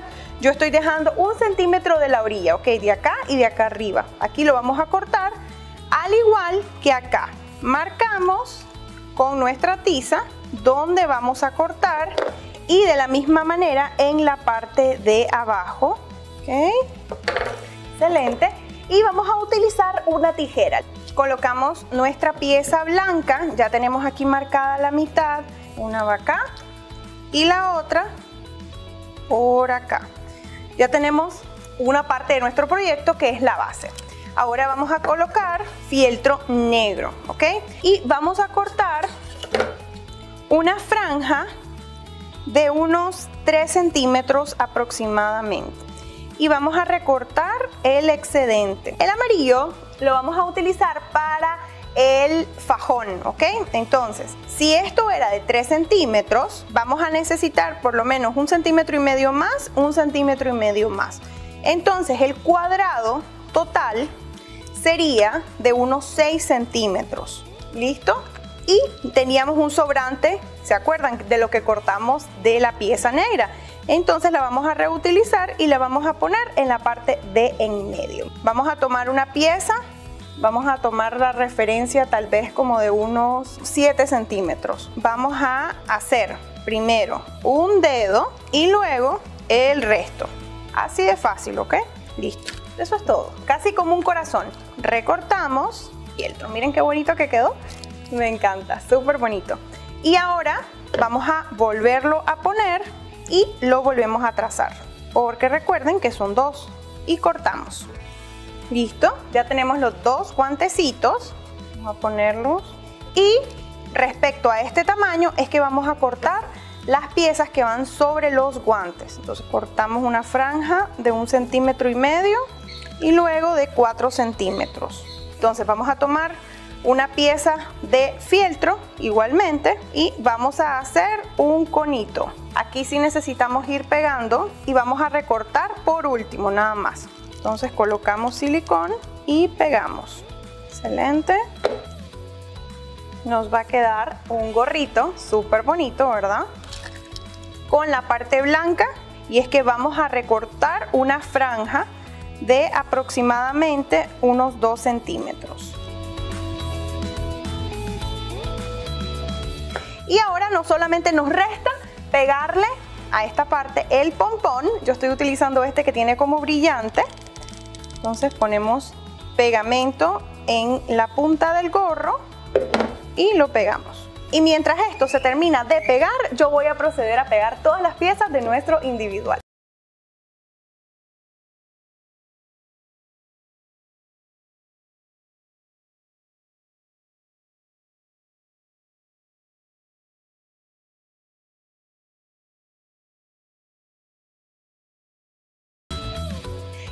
Proyecto de Aprendamos Juntos con Maru del día de hoy para cerrar toda esta época navideña? La verdad es que a mí me ha encantado el proyecto, ha sido súper original, súper rápido, súper fácil de hacer, como siempre hacemos en esta semana. Y pues nada, muy feliz Navidad, de verdad ha sido un año bastante diferente, pero siempre las cosas diferentes y difíciles nos dejan muy buenas enseñanzas. Así que a ustedes que están en casita y que nos ven todos los miércoles a través del segmento Aprendamos Juntos con Maru en su revista de Acción 10 en la mañana, les deseamos una súper feliz Navidad y que tengan muchas, muchas, muchas, pero muchísimas bendiciones para ustedes y para toda su familia. Chao, chao.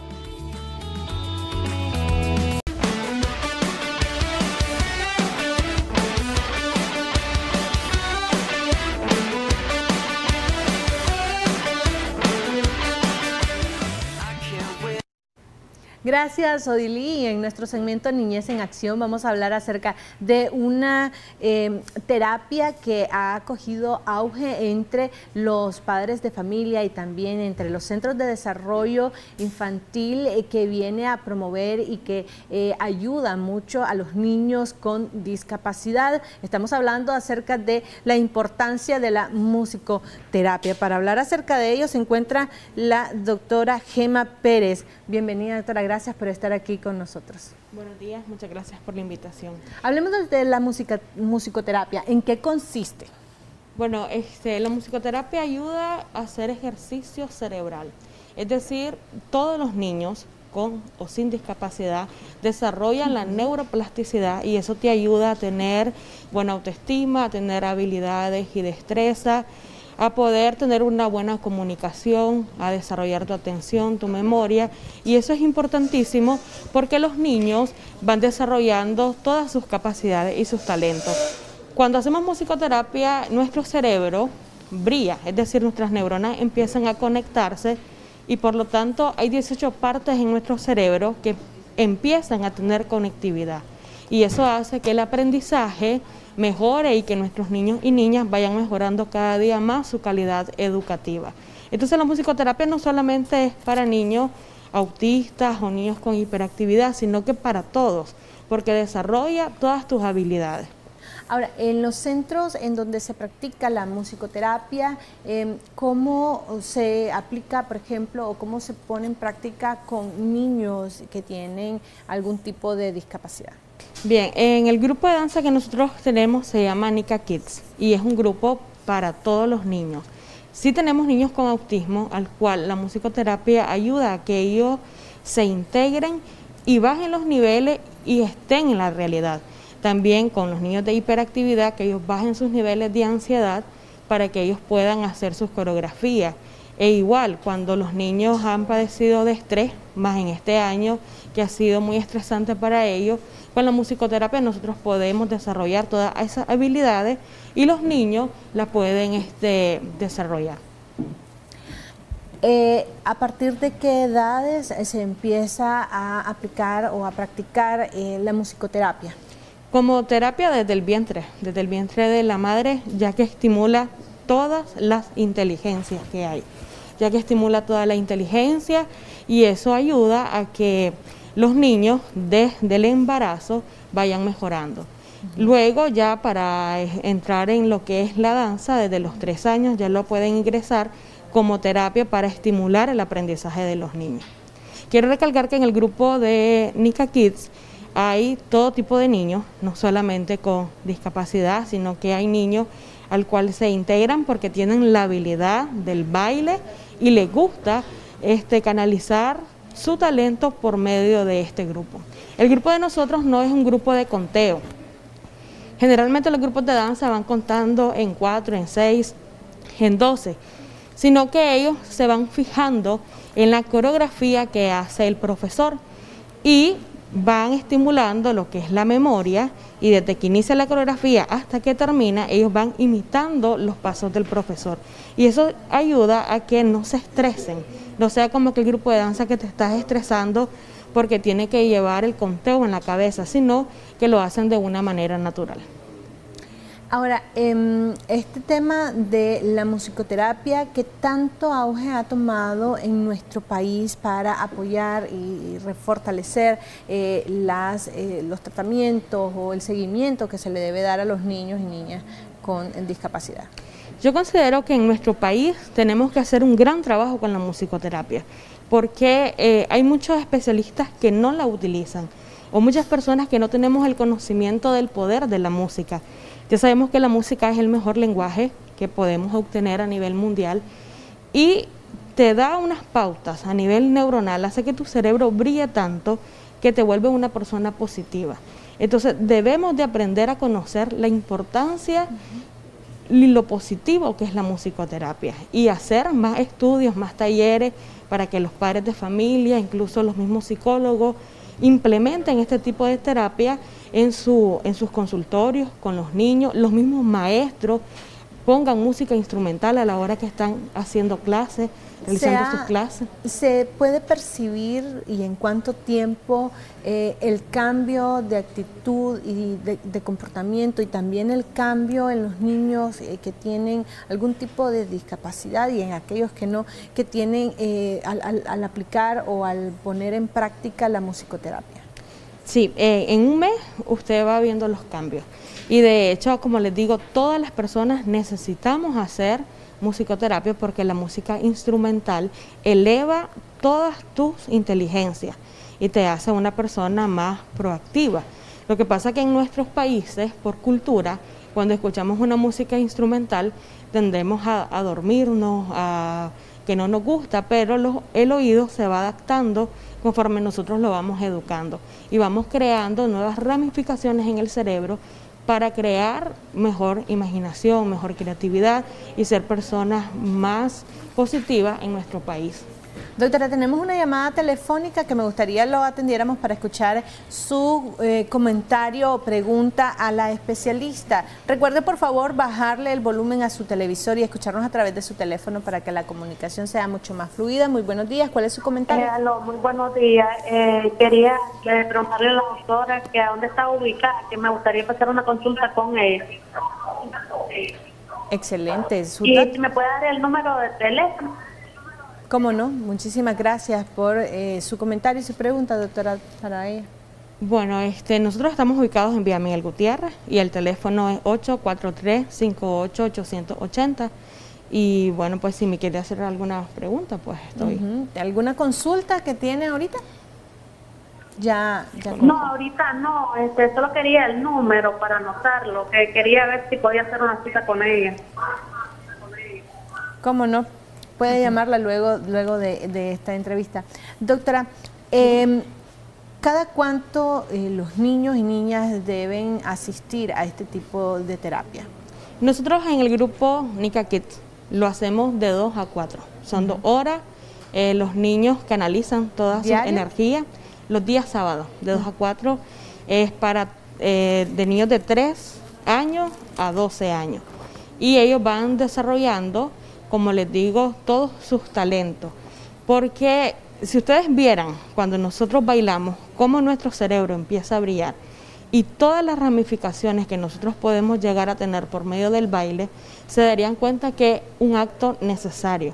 Porque encontramos muchas personas con un chiste y dicen, no, yo no bailo, es que tengo los dos pies izquierdos. Pero es que el bailar es un arte, es parte de tu crecimiento a nivel cerebral si querés darle ejercicio a tu cerebro para tener pensamientos más positivos.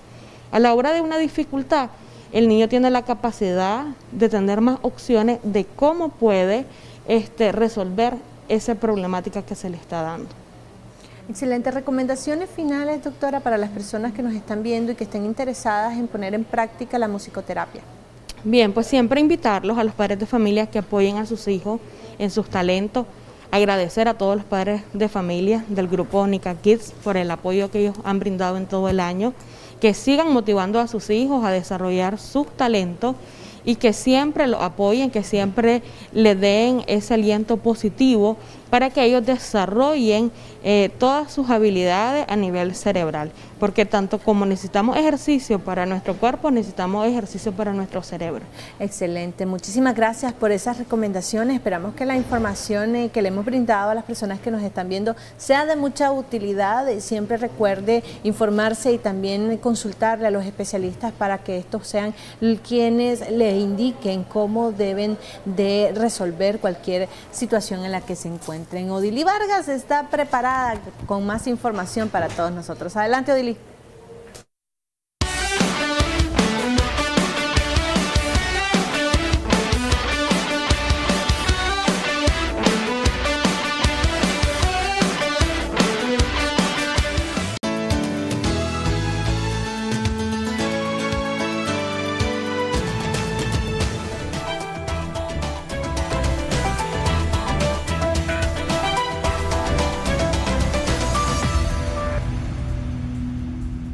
Existen diferentes fases en los tratamientos de ortodoncia asociados a la edad y al desarrollo de las estructuras dentales.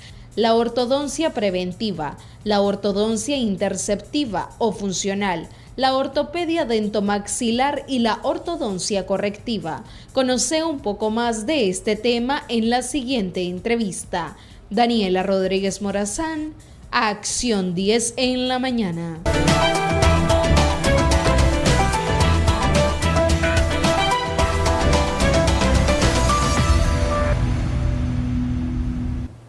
Gracias Daniela Rodríguez Morazán por la introducción a nuestro tema del día de hoy, pero antes queremos felicitar a esos niños lindos que participaron de la pastorela. Ellos son del grupo de danza Nika Kids, en donde ellos pues hicieron esta presentación para todos nosotros. Muchas felicidades y bendiciones. Hablando acerca de nuestro tema del día de hoy en el segmento de consulta con el especialista, vamos a hablar acerca de los tipos de tratamiento de ortodoncia. Para ello se encuentra a mi lado nuestra especialista Michelle Ramírez, bienvenida doctora, gracias por estar aquí con nosotros.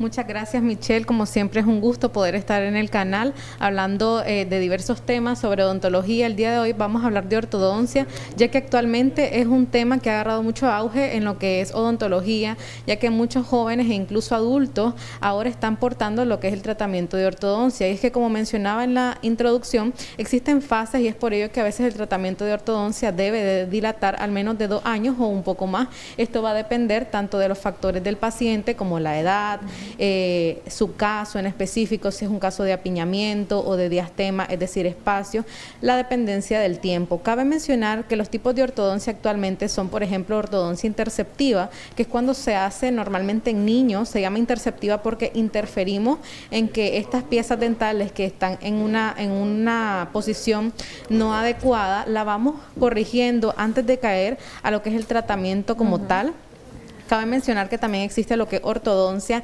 fija y ortodoncia removible. Como podemos ver en las imágenes, la ortodoncia fija son estos que podemos ver, los convencionales, exactamente los brackets convencionales que están colocados en las caras externas de los dientes, porque también existe ortodoncia fija que va colocada, como podemos ver en una de estas imágenes, en las caras internas, es decir, las caras que van al lado del paladar o de la cara lingual de las piezas dentales. El tipo de, de, de bracket de brackets que utiliza depende de eh, lo el padecimiento que tiene el paciente, es decir, o se puede utilizar indistintamente.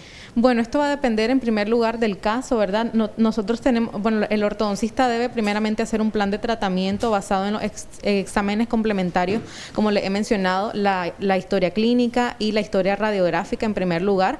De esto va a depender eh, plantearle un plan de tratamiento al paciente. Existen casos en los cuales quizás el paciente no puede llegar mes a mes a hacerse las revisiones porque estos brackets que veíamos en pantalla, los brackets fijos, es necesario que el paciente llegue todos los meses rigurosamente para poder ver los resultados esperados al cabo del tiempo que se le ha mencionado. Sin embargo, si el paciente no puede, actualmente existe lo que es ortodoncia eh, removible, eh, que es cuando se hacen uno, como unos guardas especiales a la medida del paciente, lleva medidas especiales también. Estos se van haciendo y se le indica cómo se los va a colocar el paciente, por ejemplo, en aquellos casos que viajan, que no pueden estar viniendo, por algún inconveniente que es tan largo, etcétera. También actualmente existe este tipo de ortodoncia que facilita un poco este tratamiento. Ahora, ¿qué tanta efectividad tiene, por ejemplo, en los, los brackets removibles? Bueno, por eso les mencionaba que es importante hacer el diagnóstico previo. Si el ortodoncista ve que es un caso en el cual sí es, es apto para este tipo de ortodoncia removible, sí se mandará. De lo contrario, es mejor hacer los brackets convencionales porque si no vamos a ver los resultados esperados, tampoco eh, se va a ilusionar al paciente con los resultados que, que él llega esperando, ¿verdad? Por eso es que se le hace la historia clínica se indaga qué es lo que quiere, qué es lo que él quiere mejorar, si los espacios, a veces son colmillos que están un poco en la parte superior, etcétera. Tenemos una llamada telefónica, doctor, que me gustaría le diéramos pase. Muy buenos días. ¿Cuál es su consulta? Muy buenos días. Buenos días. Dígame, ¿cuál es su consulta? Sí, mi nombre es Martín Domínguez, ¿verdad? Sí, sí. Eh, yo tengo una hija exactamente de 16 años y una niña de, de 10 años. Sí, sí, lo estamos escuchando. Sí, entonces mi, consulta es, eh, ¿a qué edad es la, es la edad adecuada para ponerle bracket a mi hija para corregir su dentadura? O para no perder la plata, pues digo yo. Eh, Ok, la edad es muy importante, eh, la pregunta que nuestro televidente acaba de hacer, y es que esto va a depender. Por ejemplo, él menciona que tiene una hija de 16 y una hija de 10 años. En el caso de la hija de 16, probablemente vamos a encontrar todo lo que es dentición permanente, es decir, solamente piezas de adulto, ya está en una edad en la cual perfectamente podemos hacer ortodoncia ya como tratamiento, ortodoncia correcta correctiva, no interceptiva en este caso. En el caso de la niña de 10 años, todavía vamos a encontrar lo que es dentición mixta, que yo les he platicado aquí. Es cuando tenemos dientes de, leche o dientes de niño y dientes permanentes. Entonces, en este caso todavía no podemos poner una ortodoncia fija, sino que en, todo caso podemos ir corrigiendo, pero desde, desde ortodoncia interceptiva. ¿ya? O sea, va a llevar otras fases que no va a llevar solamente lo que es la otra niña de 16 años. A ambas hay que valorarlas por separado, hacerle sus exámenes, complementarios, por lo menos lo que es la radiografía panorámica, eh, la historia clínica también, la revisión clínica y es el ortodoncista quien va a guiarlo eh, si es el momento adecuado para iniciar en el caso de la niña de 10 años o se espera un poco más y para mientras ponemos eh, algún aparato nada más y en el caso de la joven de 16 años ya se podría iniciar con lo que es su tratamiento. Los costos podrían variar porque recordemos que la edad es diferente, como les he mencionado, son tipos de, ortodoncia diferentes y quizás el tiempo que nos vamos a llevar con cada uno de ellos es diferente. Ahora, estos tratamientos eh, únicamente son tratamientos o intervenciones em, meramente cosméticos o realmente el tipo o una dentadura que no está alineada puede afectar tu salud bucal? Realmente el tratamiento de ortodoncia no solamente lo podemos ver como un tratamiento estético, sino también como un tratamiento funcional. Es decir, claro está que al mejorar eh, la posición de nuestras piezas dentales, el paciente se va a sentir mucho mejor y se va a ver mucho mejor, pero no lo podemos ver solo por estética, sino también funcional es decir, que logre comer mucho mejor, que se sienta bien, que, que logre articular de la manera adecuada. Yo les he platicado que tenemos una articulación que, la única articulación móvil en nuestra cara, que es la articulación temporomandibular, y si esto nuestras piezas no logran eh, ocluir de la manera adecuada, causará molestias y dolores. Tenemos otra llamada telefónica, doctora. Por favor, la persona que nos está llamando, recuerde bajarle el volumen a su televisor y escucharnos a través de su teléfono. Muy buenos días, ¿cuál es su consulta? Hola, buenos días. Le escuchamos. ¿Cuál es su consulta? Sí, este, yo tengo una niña de 12 años. Pero ella, este, cuando ella botó los dientes, a ella me le salieron los demás dientes y los dientes le salieron feos. Entonces yo quería ver si, si se le puede poner a ella a esa edad todavía este, lo que es lo sobre lo que están hablando sobre el tema.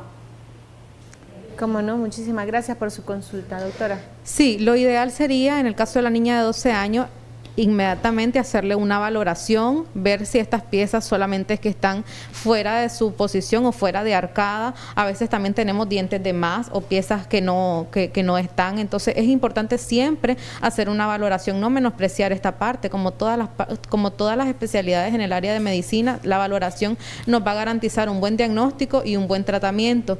En el caso de ella, ya por la edad, es muy probable que podamos ir viendo la posibilidad de iniciar el tratamiento. Si aún faltan piezas por cambiar, por exfoliar, perfectamente se espera el tiempo prudencial, podría ser un año aproximadamente en caso que no ha ¿verdad? terminado de exfoliar las piezas. De lo contrario, ya se habla con el ortodoncista y que le vaya guiando cómo, cómo iniciar el tratamiento. Ahora, eh, en este caso de la niña de 12 años y que expresaba eh, la mamá de que tenían estas piezas que le nacieron, eh, ella decía fea, suponemos que están fuera de, lugar, ¿no? Así es. Eh, eh, ¿Se puede hacer algo con esta otro, otro tipo de tratamiento? Con lo que es ortodoncia interceptiva. ¿Ah, Posiblemente se puede hacer, pero no es mucho lo que se va a abarcar. Recordemos que el hueso, a medida que va pasando el tiempo, nuestro crecimiento craniofacial es hasta los 21 años, pero no es lo mismo tratar a un niño de 8 años, de 12 años, a un joven de 15 o a un adulto de 20. Ya eh, cada maxilar es diferente, el hueso va cambiando, va creciendo. Entonces es importante ver dependiendo cómo estén estas piezas. Si es algo milimétrico que se puede componer con retenedores, por ejemplo, se podría dar la alternativa. Sin embargo, si es un tratamiento el cual necesita para poder mover estas piezas, a veces hasta extracciones, entonces probablemente con lo que es removible no se va a lograr hacer eh, los resultados esperados. Es por ello que nosotros, por ejemplo, en Clínica Dental Los Ángeles, de inicio hacemos lo que es la valoración clínica, su radiografía, tomamos fotos también para ver el antes, el durante y el después del tratamiento, eh, se le toman modelos de estudios. Los modelos de estudio es cuando tomamos un molde de la boca para poder tenerlo, aunque el paciente no esté en físico, nosotros con ese molde podemos ir haciendo un plan de tratamiento y al finalizar dar resultados garantizados a todos ellos, ¿verdad? Además que hay que hablar siempre con honestidad, porque hay casos en el cual solamente se involucran eh, lo que son dientes, pero si el paciente, además de su inconveniente, diente y hueso, es decir, que la mandíbula está un poco más hacia afuera, está un poco más hacia adentro, el maxilar está más crecido de lo normal, entonces aquí tenemos que hablarle con honestidad honestidad al paciente y decirle que, quizás no solamente con el tratamiento de ortodoncia va a mejorar, sino que también vamos a tener que involucrar lo que es un... Eh, un ortopedista en este caso, eh, ortopedia maxilar, como al inicio mencionaban en la introducción, ya que son dos especialidades de la odontología que van a llevar de la mano a este paciente y quizás se va a llevar más tiempo de lo esperado. Ahora, ¿cuál es em, el mantenimiento o cómo se debe de, em, de, trabajar el tema de los brackets y de estos tratamientos? Porque la limpieza, entiendo, es muy diferente a la que aplicamos cuando eh, no tenemos este, estos brackets. Así es, Michelle, muy buena. Pregunta la que usted nos está haciendo y así es, como bien sabemos, a pesar de que es un tratamiento eh, que nosotros lo vamos a ver es primordial que los pacientes, además de que acudan con responsabilidad a sus citas para ver los resultados, eh, con lo que es la higiene, tenemos que ser un poco más eh, estrictos, es decir, hay ahora lo que son cepillos de ortodoncia, cera de ortodoncia, cepillos interdentales, o sea, hay diferentes aditamentos para que estos pacientes puedan limpiar adecuadamente. Recordemos que al estar estos alambres y estos brackets, eh, ulitos, eh, bandas y todo, se van a retener los alimentos en estas partes de acá, aunque no querramos. Entonces hay que limpiarnos, tomarnos el tiempo adecuado. Yo sé que a veces pues pacientes que trabajan o los que van a clase no les da mucho tiempo, pero entonces tenemos que buscar un espacio por la noche, en la mañana, asearlo, porque aunque andemos bracket, eh, podría también el paciente desarrollar caries, ya podría desarrollar enfermedades de las encías como la gingivitis, una periodontitis, y lamentablemente esto sería contraproducente tanto como para su salud como para el mismo tratamiento. Nosotros siempre les orientamos el cepillo que debe de ocupar, cómo lo debe de ocupar, cómo se debe de cepillar los dientes qué alimentos debe de tener eh, cuidado. Es decir, ya no vamos a poder arrancar un trozo de carne, comer elote de la manera convencional, sino que pues ahora hasta existen elotes desgranados, la carne la tendríamos que cortar, evitar todo lo que es arrancar alimentos, porque esto podría causar el desprendimiento de los brackets, lastimarse incluso o una fractura en nuestras mismas piezas dentales. Entonces es importante tanto con la higiene como con los alimentos tener muchos cuidados e incluso el mismo paciente se tiene que sentir en toda la la, confianza de preguntar todas estas dudas a su mismo eh, ortodoncista o, dentista que le está ayudando a llevar, porque normalmente se trabaja de la mano, siempre es el dentista y el especialista. ¿ya? Entonces puede hacer toda su, su, evacuar todas sus preguntas, ¿verdad? Al respecto. Excelente, doctora. Muchísimas gracias por esas recomendaciones y por esa información para todas las personas que nos están viendo. Esperamos que sea de mucha utilidad. Ahora yo le doy traslado a Odili Vargas, que tiene una deliciosa información para todos nosotros. Adelante, Odili.